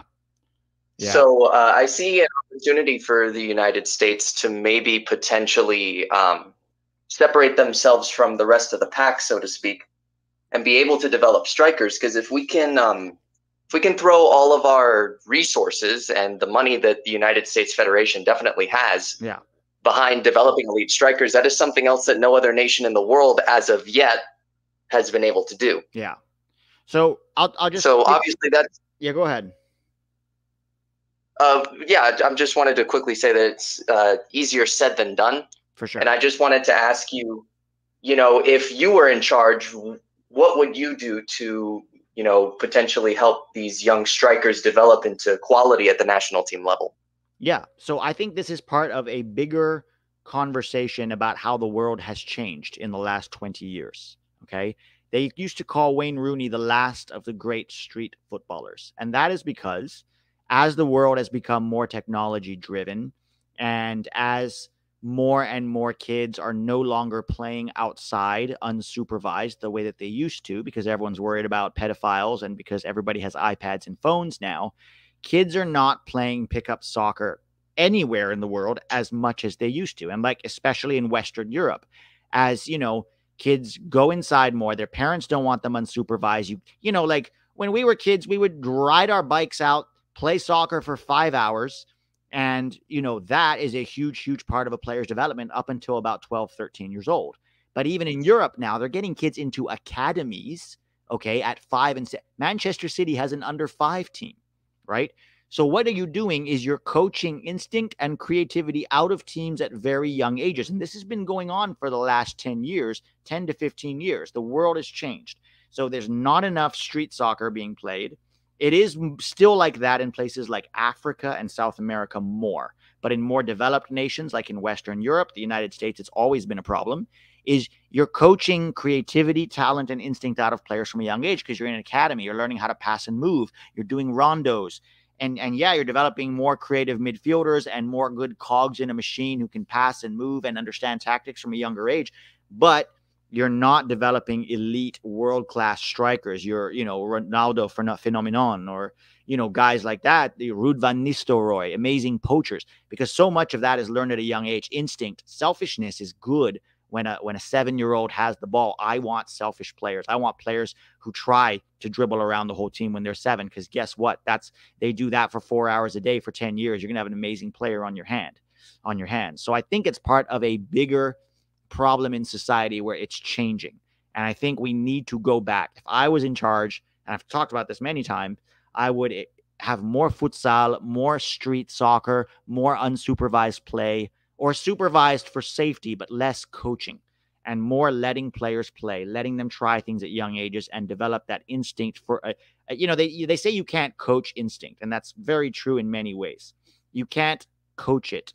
You know, you can, players develop instinct from very young ages. And oftentimes the players who are really successful now are the kids who had soccer parents who kind of un- probably understood that a little bit more, like your Erling Haalands or you know your Gio Reynas.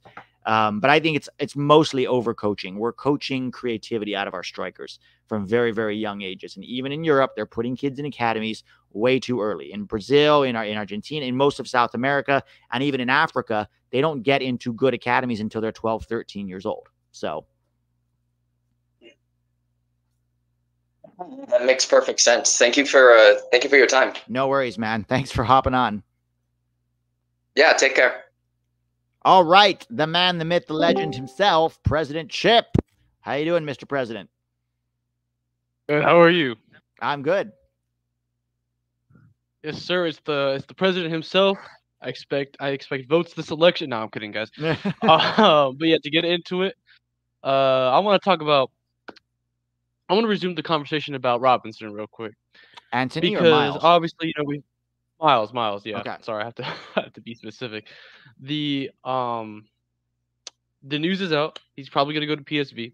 That's most likely what is going to happen. And as an Atlanta fan, obviously, you know this was inevitable. I mean, after the news came out that he wasn't really going to renew his, he wasn't looking to renew his contract because we weren't going to give him that type of money that he was asking for. yeah. Um, it was pretty much inevitable he was going to go to another MLS club who was going to give him that money, or he was going to test himself and go to a European club, which is what is going to most likely happen. And personally, just like as a U.S. national team, looking at uh, you know, at the eyes of a U.S. national team fan, not an Atlanta fan, um, it's definitely a great move. He's not going to be Jesus Ferreira and stay and not challenge himself.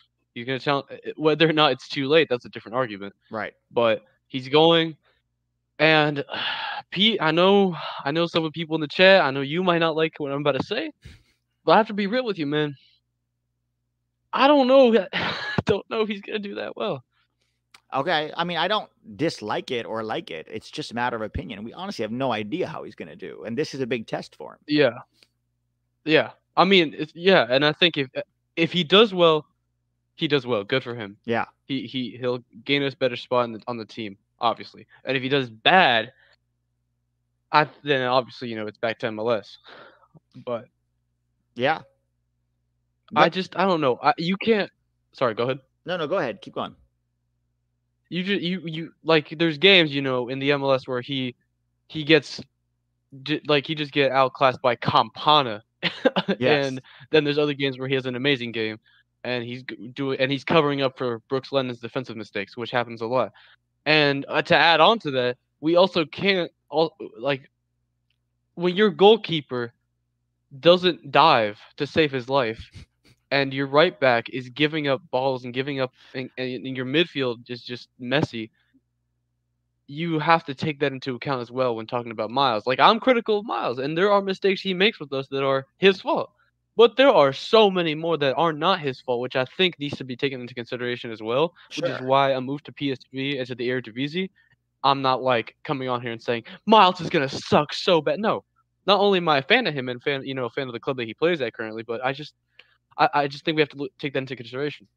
No, for sure. And look, I, I highlight Austin Trusty as a guy who was playing in MLS. He was a good MLS center back, but nothing special. And then he go Yep. he went to Europe with the right mentality. So he goes to Arsenal. He spends six months at Arsenal, probably learning to be better on the ball, learning positioning, training with elite players.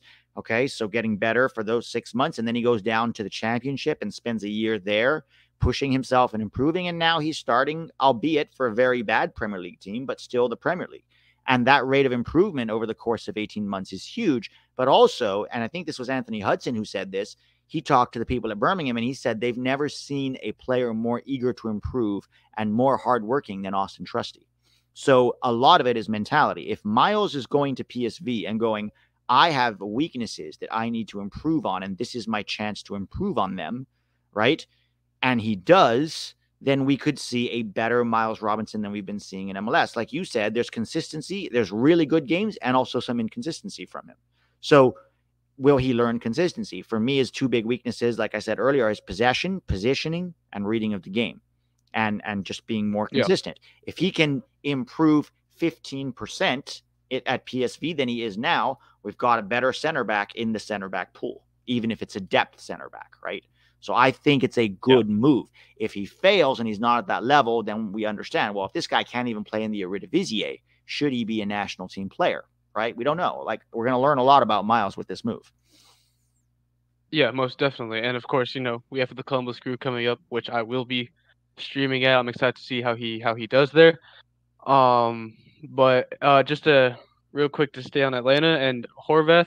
I like that idea, Pete. I was gonna say here, but you you said it for me.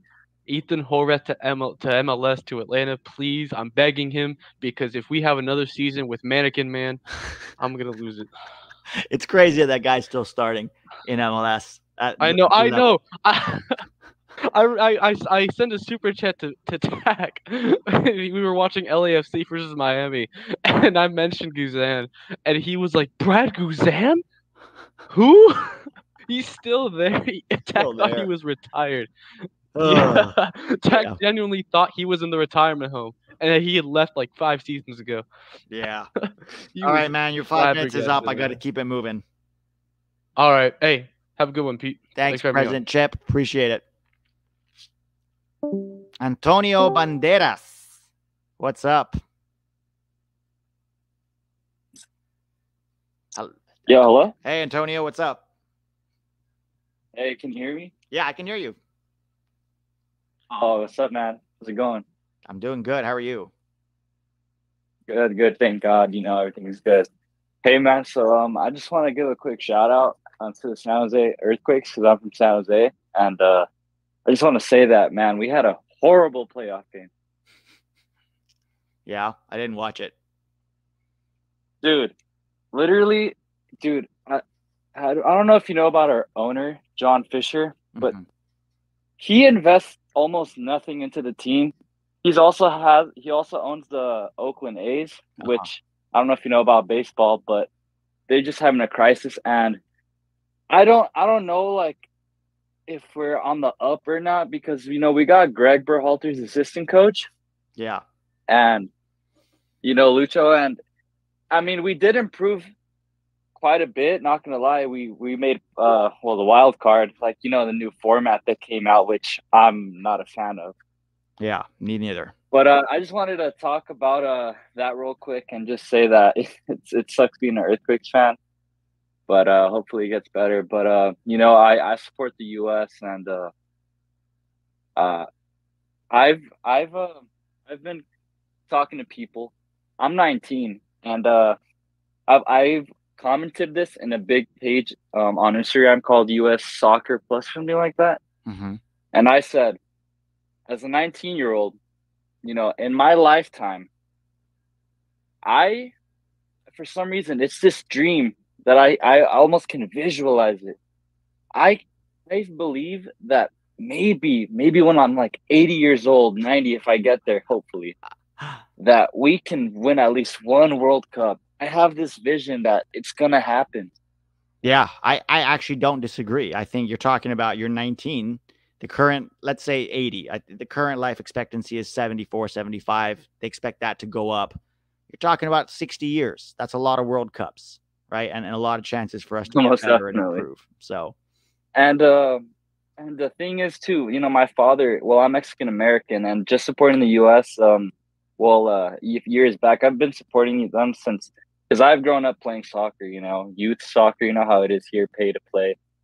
I uh I grew up I grew up playing you know, like Sunday leagues and you know all of that, and I remember all my teammates that were Mexican Americans as well. They all eighty percent of them supported El Tri, and me personally, I wasn't raised on that, and uh, I've always supported the U.S. And I remember they would they would laugh at me. They'd be like, "Oh, the U.S. sucks. Why do you support them?"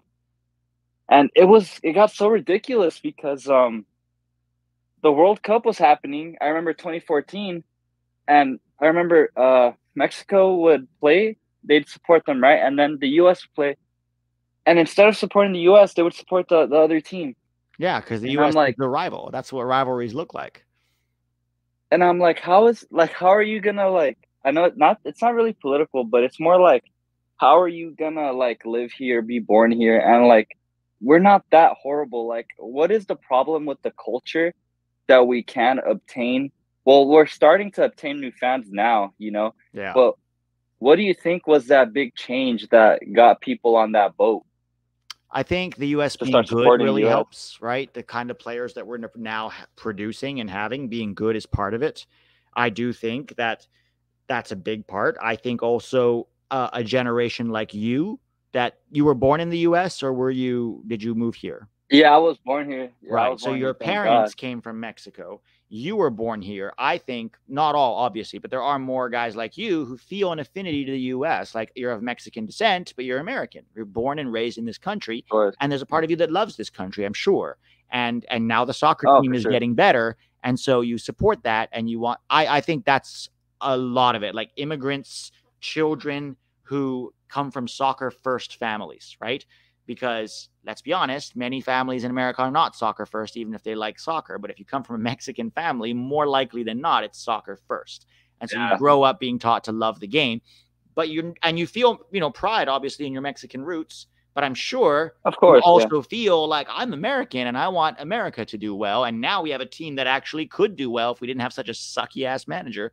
So I think that's probably Yeah, a oh, good part of it. And uh, I don't know how much time I have left, but let me just say this: from what I'm not a tactical master, right? But I can see that we have very good, we have a good blueprint. Okay, we have our dude. Think about it. Our league is very new.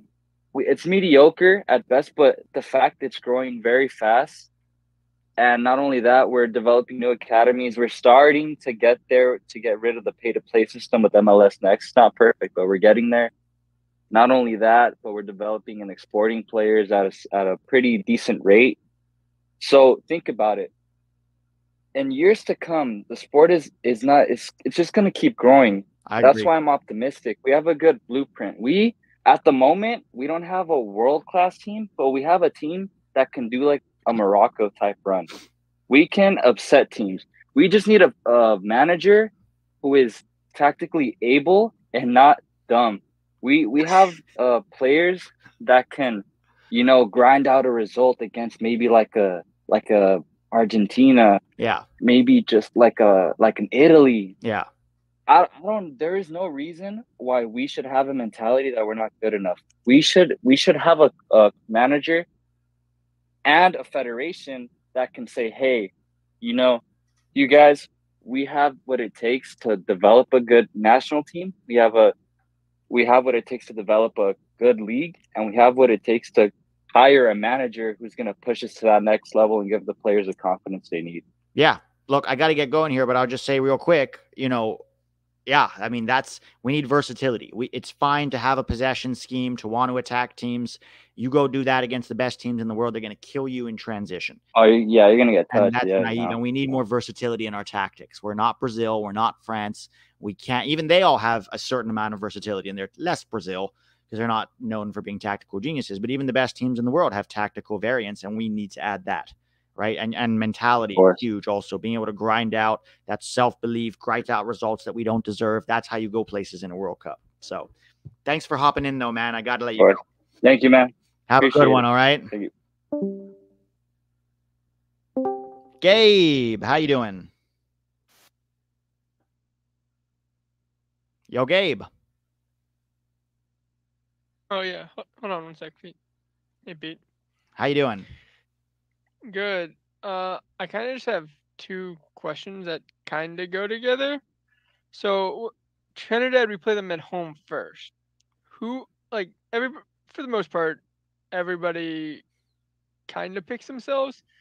But I was gonna say, would you rather start? I'm just gonna say McKinney would be over Musah. Would you rather start Musah or Mc, or Johnny to just see what Johnny can do in a pressure game with more of an actual defensive? I'd probably start. Musah. Sorry, did you say something? Oh no, I don't. I don't think I did. Well, I'd start Musah just because I think we're going to have a lot of the ball, and I think that Musah is a guy who, you know, in possession is more effective right now than Johnny, certainly.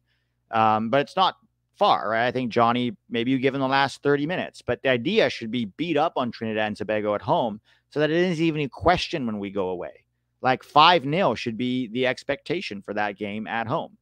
Um, I'd Yeah. probably start Musah. Yeah, I think Musah deserves it. That's his spot. He's a starter. Johnny's improving and he's getting better. And there was an encouraging performance against Ghana, but you know, I still think he's not a locked. He's not a starter for us yet. But have him in the roster, have him back up Musah. Maybe you give him 30 minutes if it's four 0 up, and see how he does there. You know. Yeah, I was I was just thinking like hopefully it's just like three plus four plus nil, like one, and then minimum I'd say. Rotate. Yeah, and then you can heavily rotate away and give other guys chances.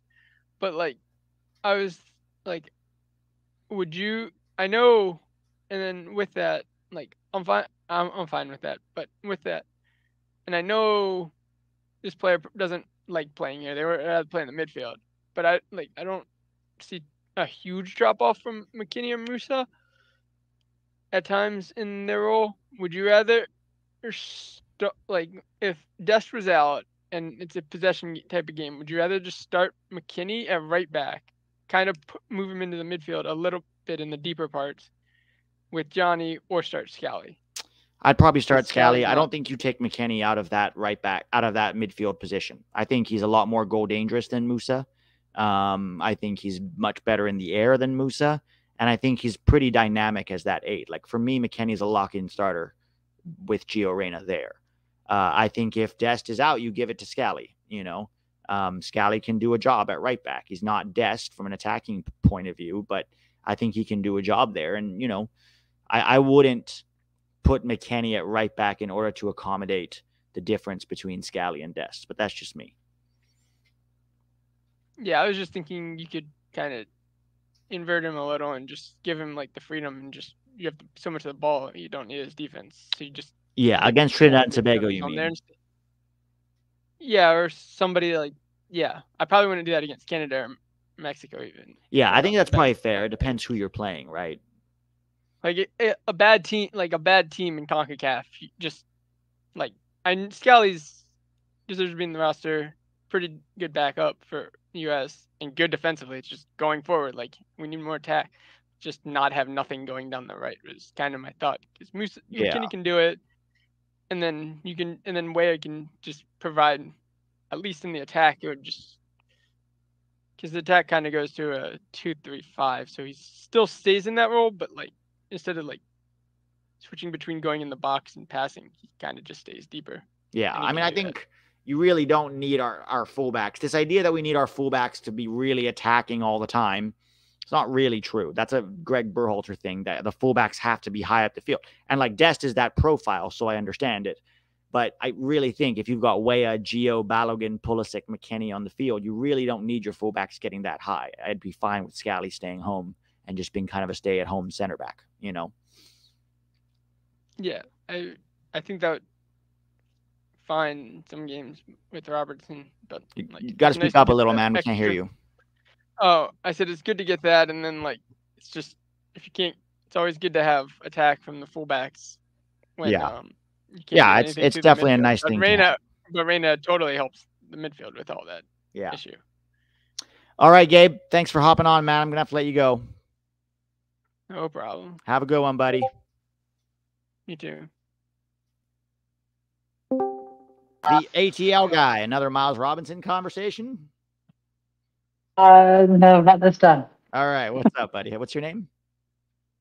My name is Jack.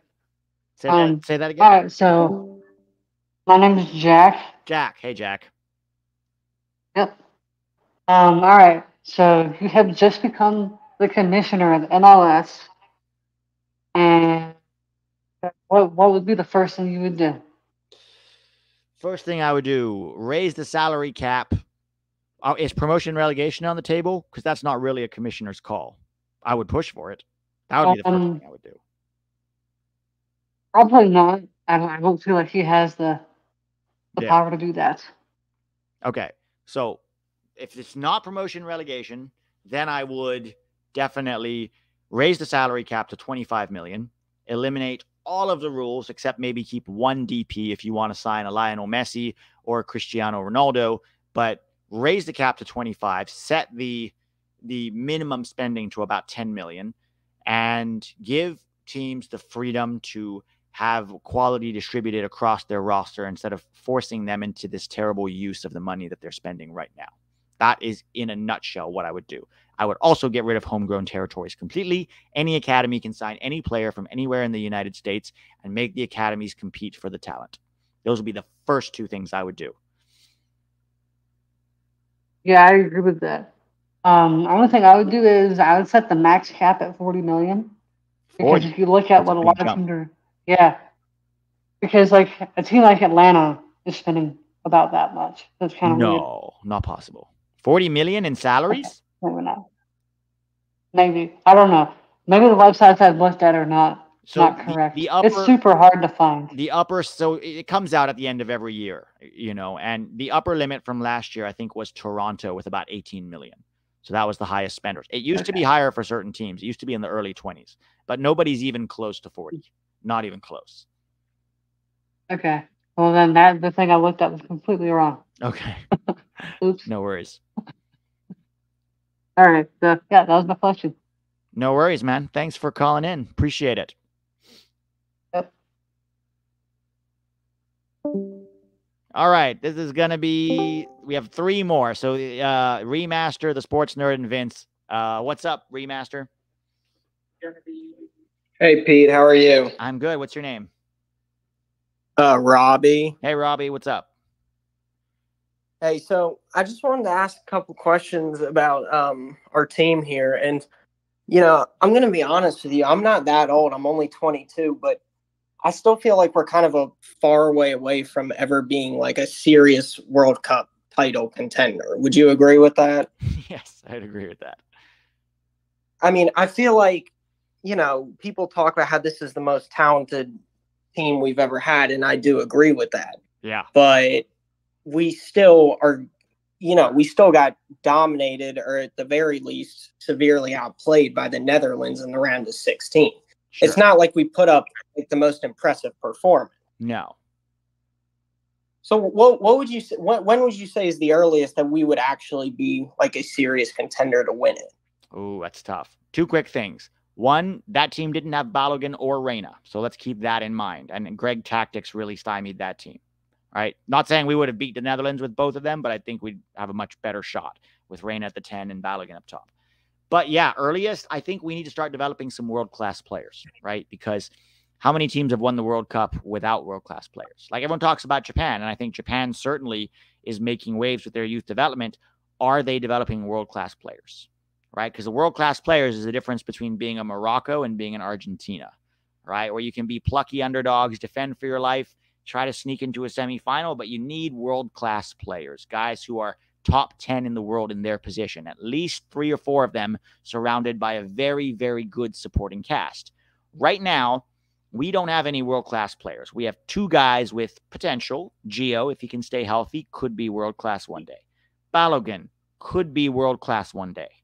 Right now, neither of them are world class. They're not top 10 in the world in their position. Um, so, yeah, I think that's the thing we have to do. And right now, if I look at our youth, I don't see any world class players potentially coming through the U20s or the U17s. I just don't see any. So, I don't think it will be soon. I think what we should do for now is focus on being a team that can regularly be a quarterfinalist and maybe on a lucky day, a semifinalist at the World Cup. And then from there, the missing pieces are we need to be developing world class players. Where are they going to come from? Our academies have to get better. Our academies have to get better, and we need more kids playing soccer before they get into academies and getting better development from a young age and less coaching from very young ages. Uh, maybe Diego Kochen says BMR. Yeah, very early days for Kochen at 17, but we'll see.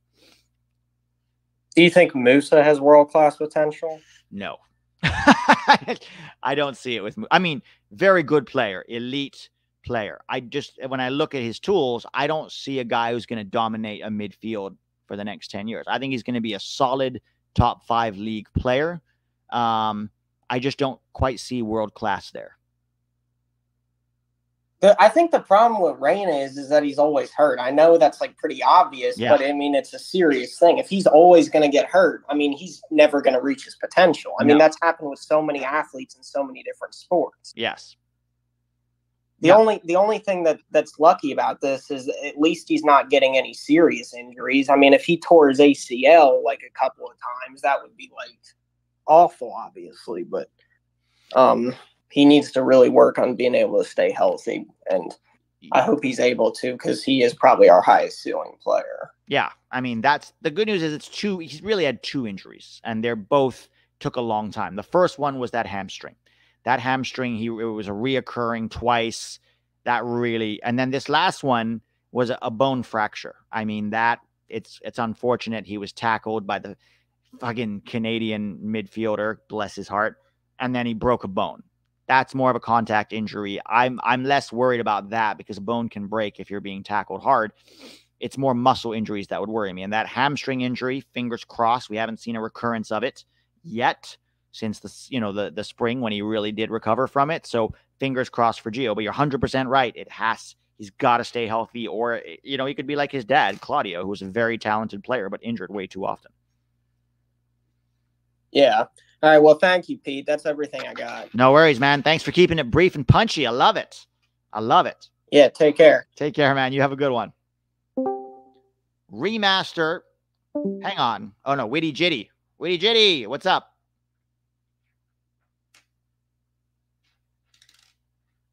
Witty Jitty, can you hear me? Hello. All right, Witty, I'm going to put you back in the waiting room and we're going to talk to Vince. Vince, how you doing? Hello? Last couple of guys got no audio. Vince, you there? Nope, nothing from Can you hear Vince. Oh, there we go. Can you hear me? All Yeah. right, cool. Uh, Celta Vigo are currently 18th in La Liga, winless in five games, are only three points from rock bottom Almeria. So if we see Luca De La Torre get relegated, where would he go? Would he go back to the Netherlands? Could we see him move to a different, like, slim, similar level league such as the Serie A, or may he just move to a different La Liga club? or stay. you know, I mean, reality is, look, he's got two assists for them this year, and he's been decent to good most games that he's played in. But if they get relegated, he's only been there for two years, right? Um, could another La Liga club or Serie A club take a chance on him? Maybe. I mean, they got him for super cheap, 1.5 million from Heracles. So even if they Mm. were to sell him for double that, three three to five million would not be an uh, unreasonable price for Luca De La Torre. So I think he could move. Um, but let's wait and see. They they were supposedly maybe getting relegated last year too, and then they managed to avoid. it. Mhm. But also, he Yeah. could just stay in the second division. I mean, he has a contract with them, right? Mm. But would that by, be ideal considering our midfield depth since Luca's like one of the first guys off the bench? No, it wouldn't be ideal if he's playing there, but you know, if Johnny goes to Betis, now you've got Johnny in the mix too, right? Like I think our depth is getting better, and then if you have one of our other tens, like Paxton or Guti or one of those guys breaks through Luna, then yeah, he could find himself on the outside looking in if he's not playing at a good level. So it's a fair point. All right, thank you. No worries, man. Is that it? Yep, that's it. Awesome. All right. The sports nerd. Hello. Hi, you there? How you doing? Quite weak. Say that But, again. You have to speak up a um, little. We can't hear you. Hey, can you hear me? Uh, yeah, just try to get as close to your mic as you can. Yeah, one sec. One second. There you go. Is that better? Yeah, a bit better. Go ahead. Um, so what do you think about this whole like? Have they announced where Copa America cities are yet? Because I haven't seen anything yet. Ooh, I'm going to refer you to the chat. Does anybody in the chat know if the Copa America cities are finalized or not? I don't. I didn't see any. 'Cause It's taking them an it's, it's taking them an awfully long time. That's all I'm Yeah, saying. yeah. I mean, it's Concacaf for you. If anybody in the chat knows, we might be wrong, but I haven't heard anything about it. Okay. And also, like, what do you think of uh, Poli's assist today? Very nice assist. It was like that. Uh, it was like that sort of hockey assist that he got in the opening game of the season, where he cuts in onto his left and chips it over the back line into the far post, and then Leao, you know, cuts it back to Giroud to score. Except this time it was straight to Giroud. Really nice assist. Agreed, agreed. And then uh, last really quick one because I know it's getting late. Um, Man United, man, what an embarrassment. Yeah, this it's been to what 15 years of embarrassment now. like, how long? What's What's go on? crazy is what what what's crazy is they're in eighth place in the table. Yeah, they just look like shit. That's the thing. I know it's so bad. And then the worst part is is that they probably are just not going to change a single thing because they're at top of the table. I mean, they're still using Harry Maguire and Jonny Evans and James McTominay and acting like those guys are good enough to make them a top 14. They're not. They spend poorly. Players, it's becoming a Chelsea situation where players, good players, go to Manchester United and become actively worse when they get there. It's like a toxic environment almost, you know? Yeah, but then, what is it like? Why was it? Why is it that like? Because I was thinking like, especially like with Pulisic for for one, because he's played at a Premier League level before. Like, if he like ends up winning a title with AC Milan this year Yeah. somehow, which actually, actually I think is pretty. It, it's still a possibility. It's Like, possible, but they don't do look think like title move? contenders Yeah. right now. Yeah, yeah, but like, where would he go in the Prem if he was ever at that level? I think he should stay in Italy. I don't think he should be in a rush to go back to the Prem at all. I think he had his time in the Prem, and you know, unless he is crushing it like for two years at Milan, twenty-five goal contributions each season, I would like the Prem might not be for him with his injury history and his, you know, sometimes getting bullied. It's a very physical, very high intensity league, the Premier League, and maybe it just doesn't really suit Pulisic. So I would be totally fine with him staying Milan in Milan until the World Cup. Awesome. All right, see you. Have a good night, man.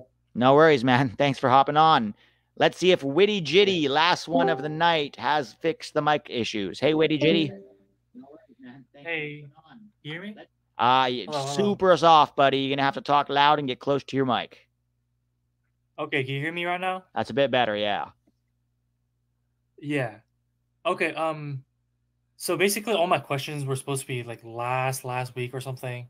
It was the it was about like the um, Germany, US and the Ghana games. Okay. Okay, first of all, are you still living in Chicago? No, no, I live in LA. I've been in LA for the last Oh, okay. five and a half years. Five Okay. years. Cool, cool, cool. Okay. Yeah. So basically I was I just want to talk about how like I feel like because my main sport before I got into soccer was basketball. Okay. and I feel like coming into soccer, um, so first of all, thank to you and you and uh, uh, Tack for like introducing the sport so well, and uh, but also, um, can you hear me? Yeah, I can hear you.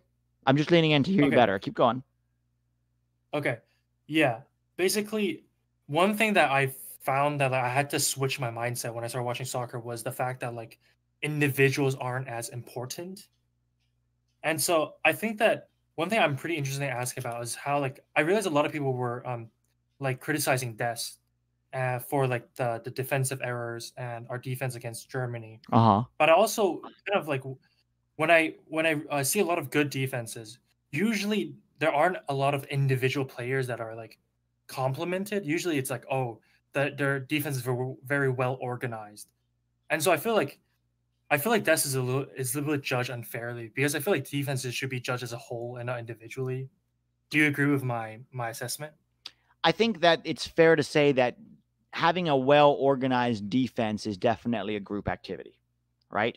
But within that group activity of an organized, solid defense, there are individual responsibilities. And I think for Dest, sometimes his ability to react quickly to like the game is getting faster mm-hmm. and faster every year. The speed of play, your reaction speed, and your ability to recognize danger and to make decisions quickly and make the right decisions is getting more and more important. And so while it is a group game and a group activity defending, within that you have individual responsibilities. You cannot switch off and let your man walk into the far post. You cannot, you know, be a half second too slow to drop back in transition.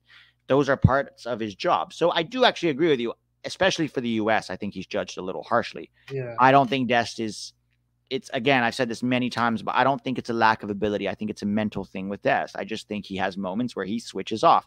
And in the modern game at a high level, you'll get killed for that. And against the best teams mm. like Arsenal, he does. But I, other than that, I don't think he's actually a bad defender. I think it's more of a mental lapse issue that I hope he can get over one day. Yeah. And I I don't know, like I feel kind of weird because the I don't I know people criticize Berhalter, but I've never heard people criticize him for his like defense. Because I, I always felt like like for example, like Do you remember the Greek team in 2004 that won the Euros? Yes. And I don't know any a single player except for maybe one of their like midfielders that's kind of famous. All the other ones I didn't I don't know a single one of them. Yeah. And it's pretty much because of their coach that they have a very good they organize their defense very well. Yeah. And I just watching this US team, sometimes I feel like their defense isn't organized that well. Mm. Do you agree with me? Yeah, no, I would agree. I think that, especially needs to do against good opponents. Yeah. But again, it's it's a lack of flexibility, you know, and you you have your fullbacks very high. It's it, our defending is a byproduct of the way we attack. You know, the way he wants his fullbacks to get really high up the field, the way Adams goes lunging in high up the field to try and win the ball.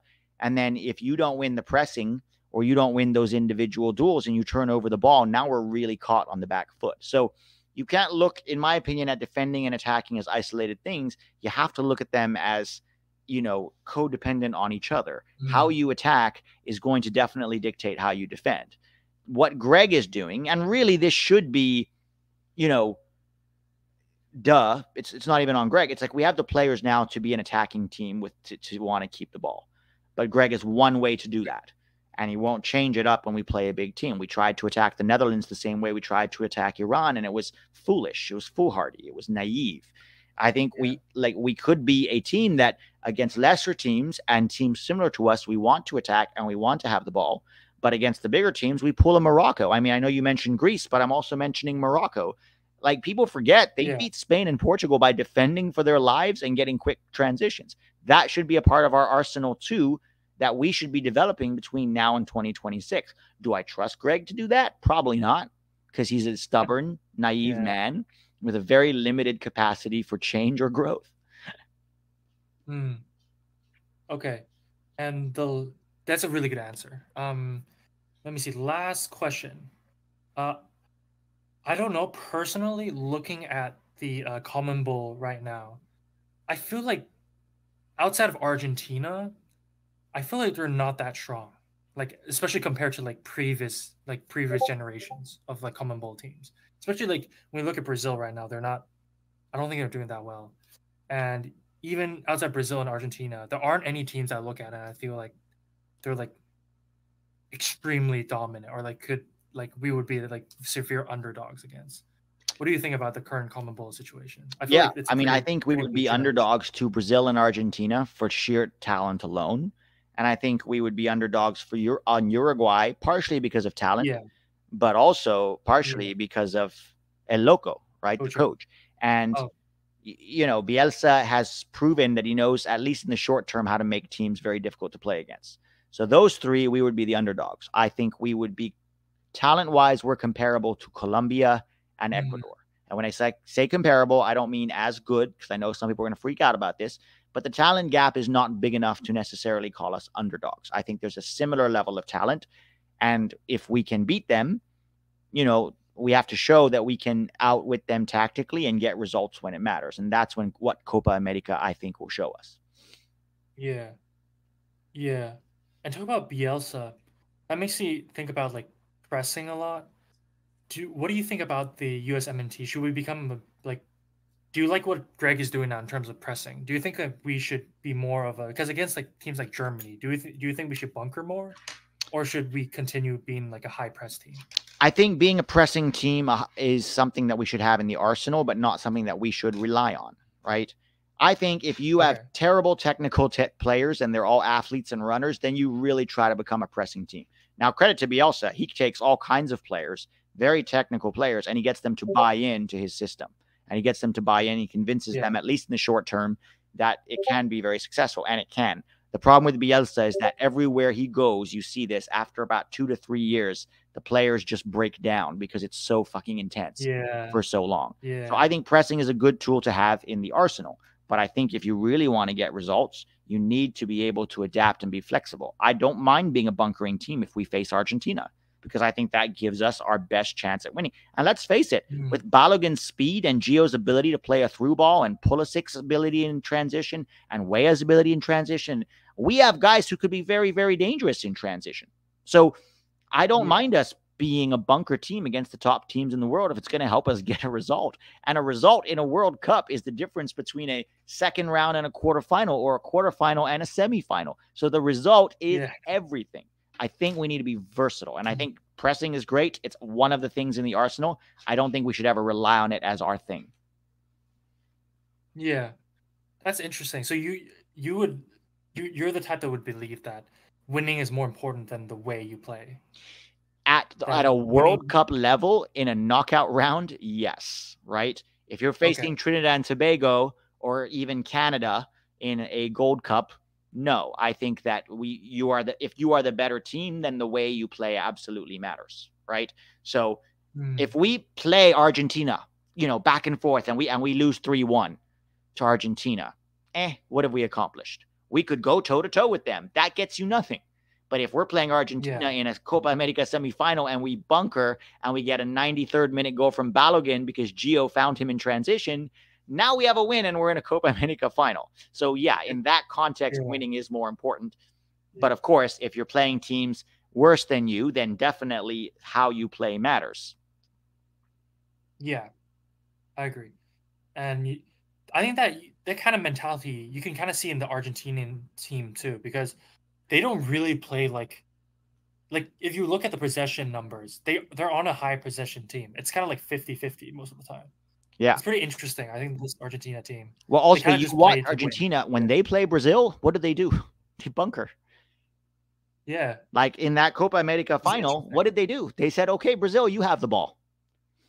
yeah, So if, you think if Argentina can do it, why are we above it? You know what I mean? yeah. Okay. Yeah, that's about it. Yeah. Thank you so much. I've been such a fan of your uh, channel for a long time. So No worries, man. Thank you so much for calling in. Yeah. Woo! Guys, we almost did two hours here. Jeff Carey, sorry, no FaceTiming, buddy, but you can hop on the Discord. Just keep the spiciness to yourself. We have 160 odd people. Guys, smash the like button before you leave so other people can find the stream. Do you think Turner gets benched after today? I think that would be harsh after one mistake. Let's see. Let's see what happens. Um, I don't I don't think he gets benched after one mistake, but if he makes one or two more that cost them a game, then perhaps. All right, guys. Thanks for hanging. This was fun. My voice is going here. Thanks to everybody who called in. Sorry if you weren't able to get all your questions in, but we got to keep it moving, got to keep it punchy. Have a great night, guys. Enjoy your Sunday. Happy Halloween on Tuesday. Probably going to have a video out Wednesday or Thursday.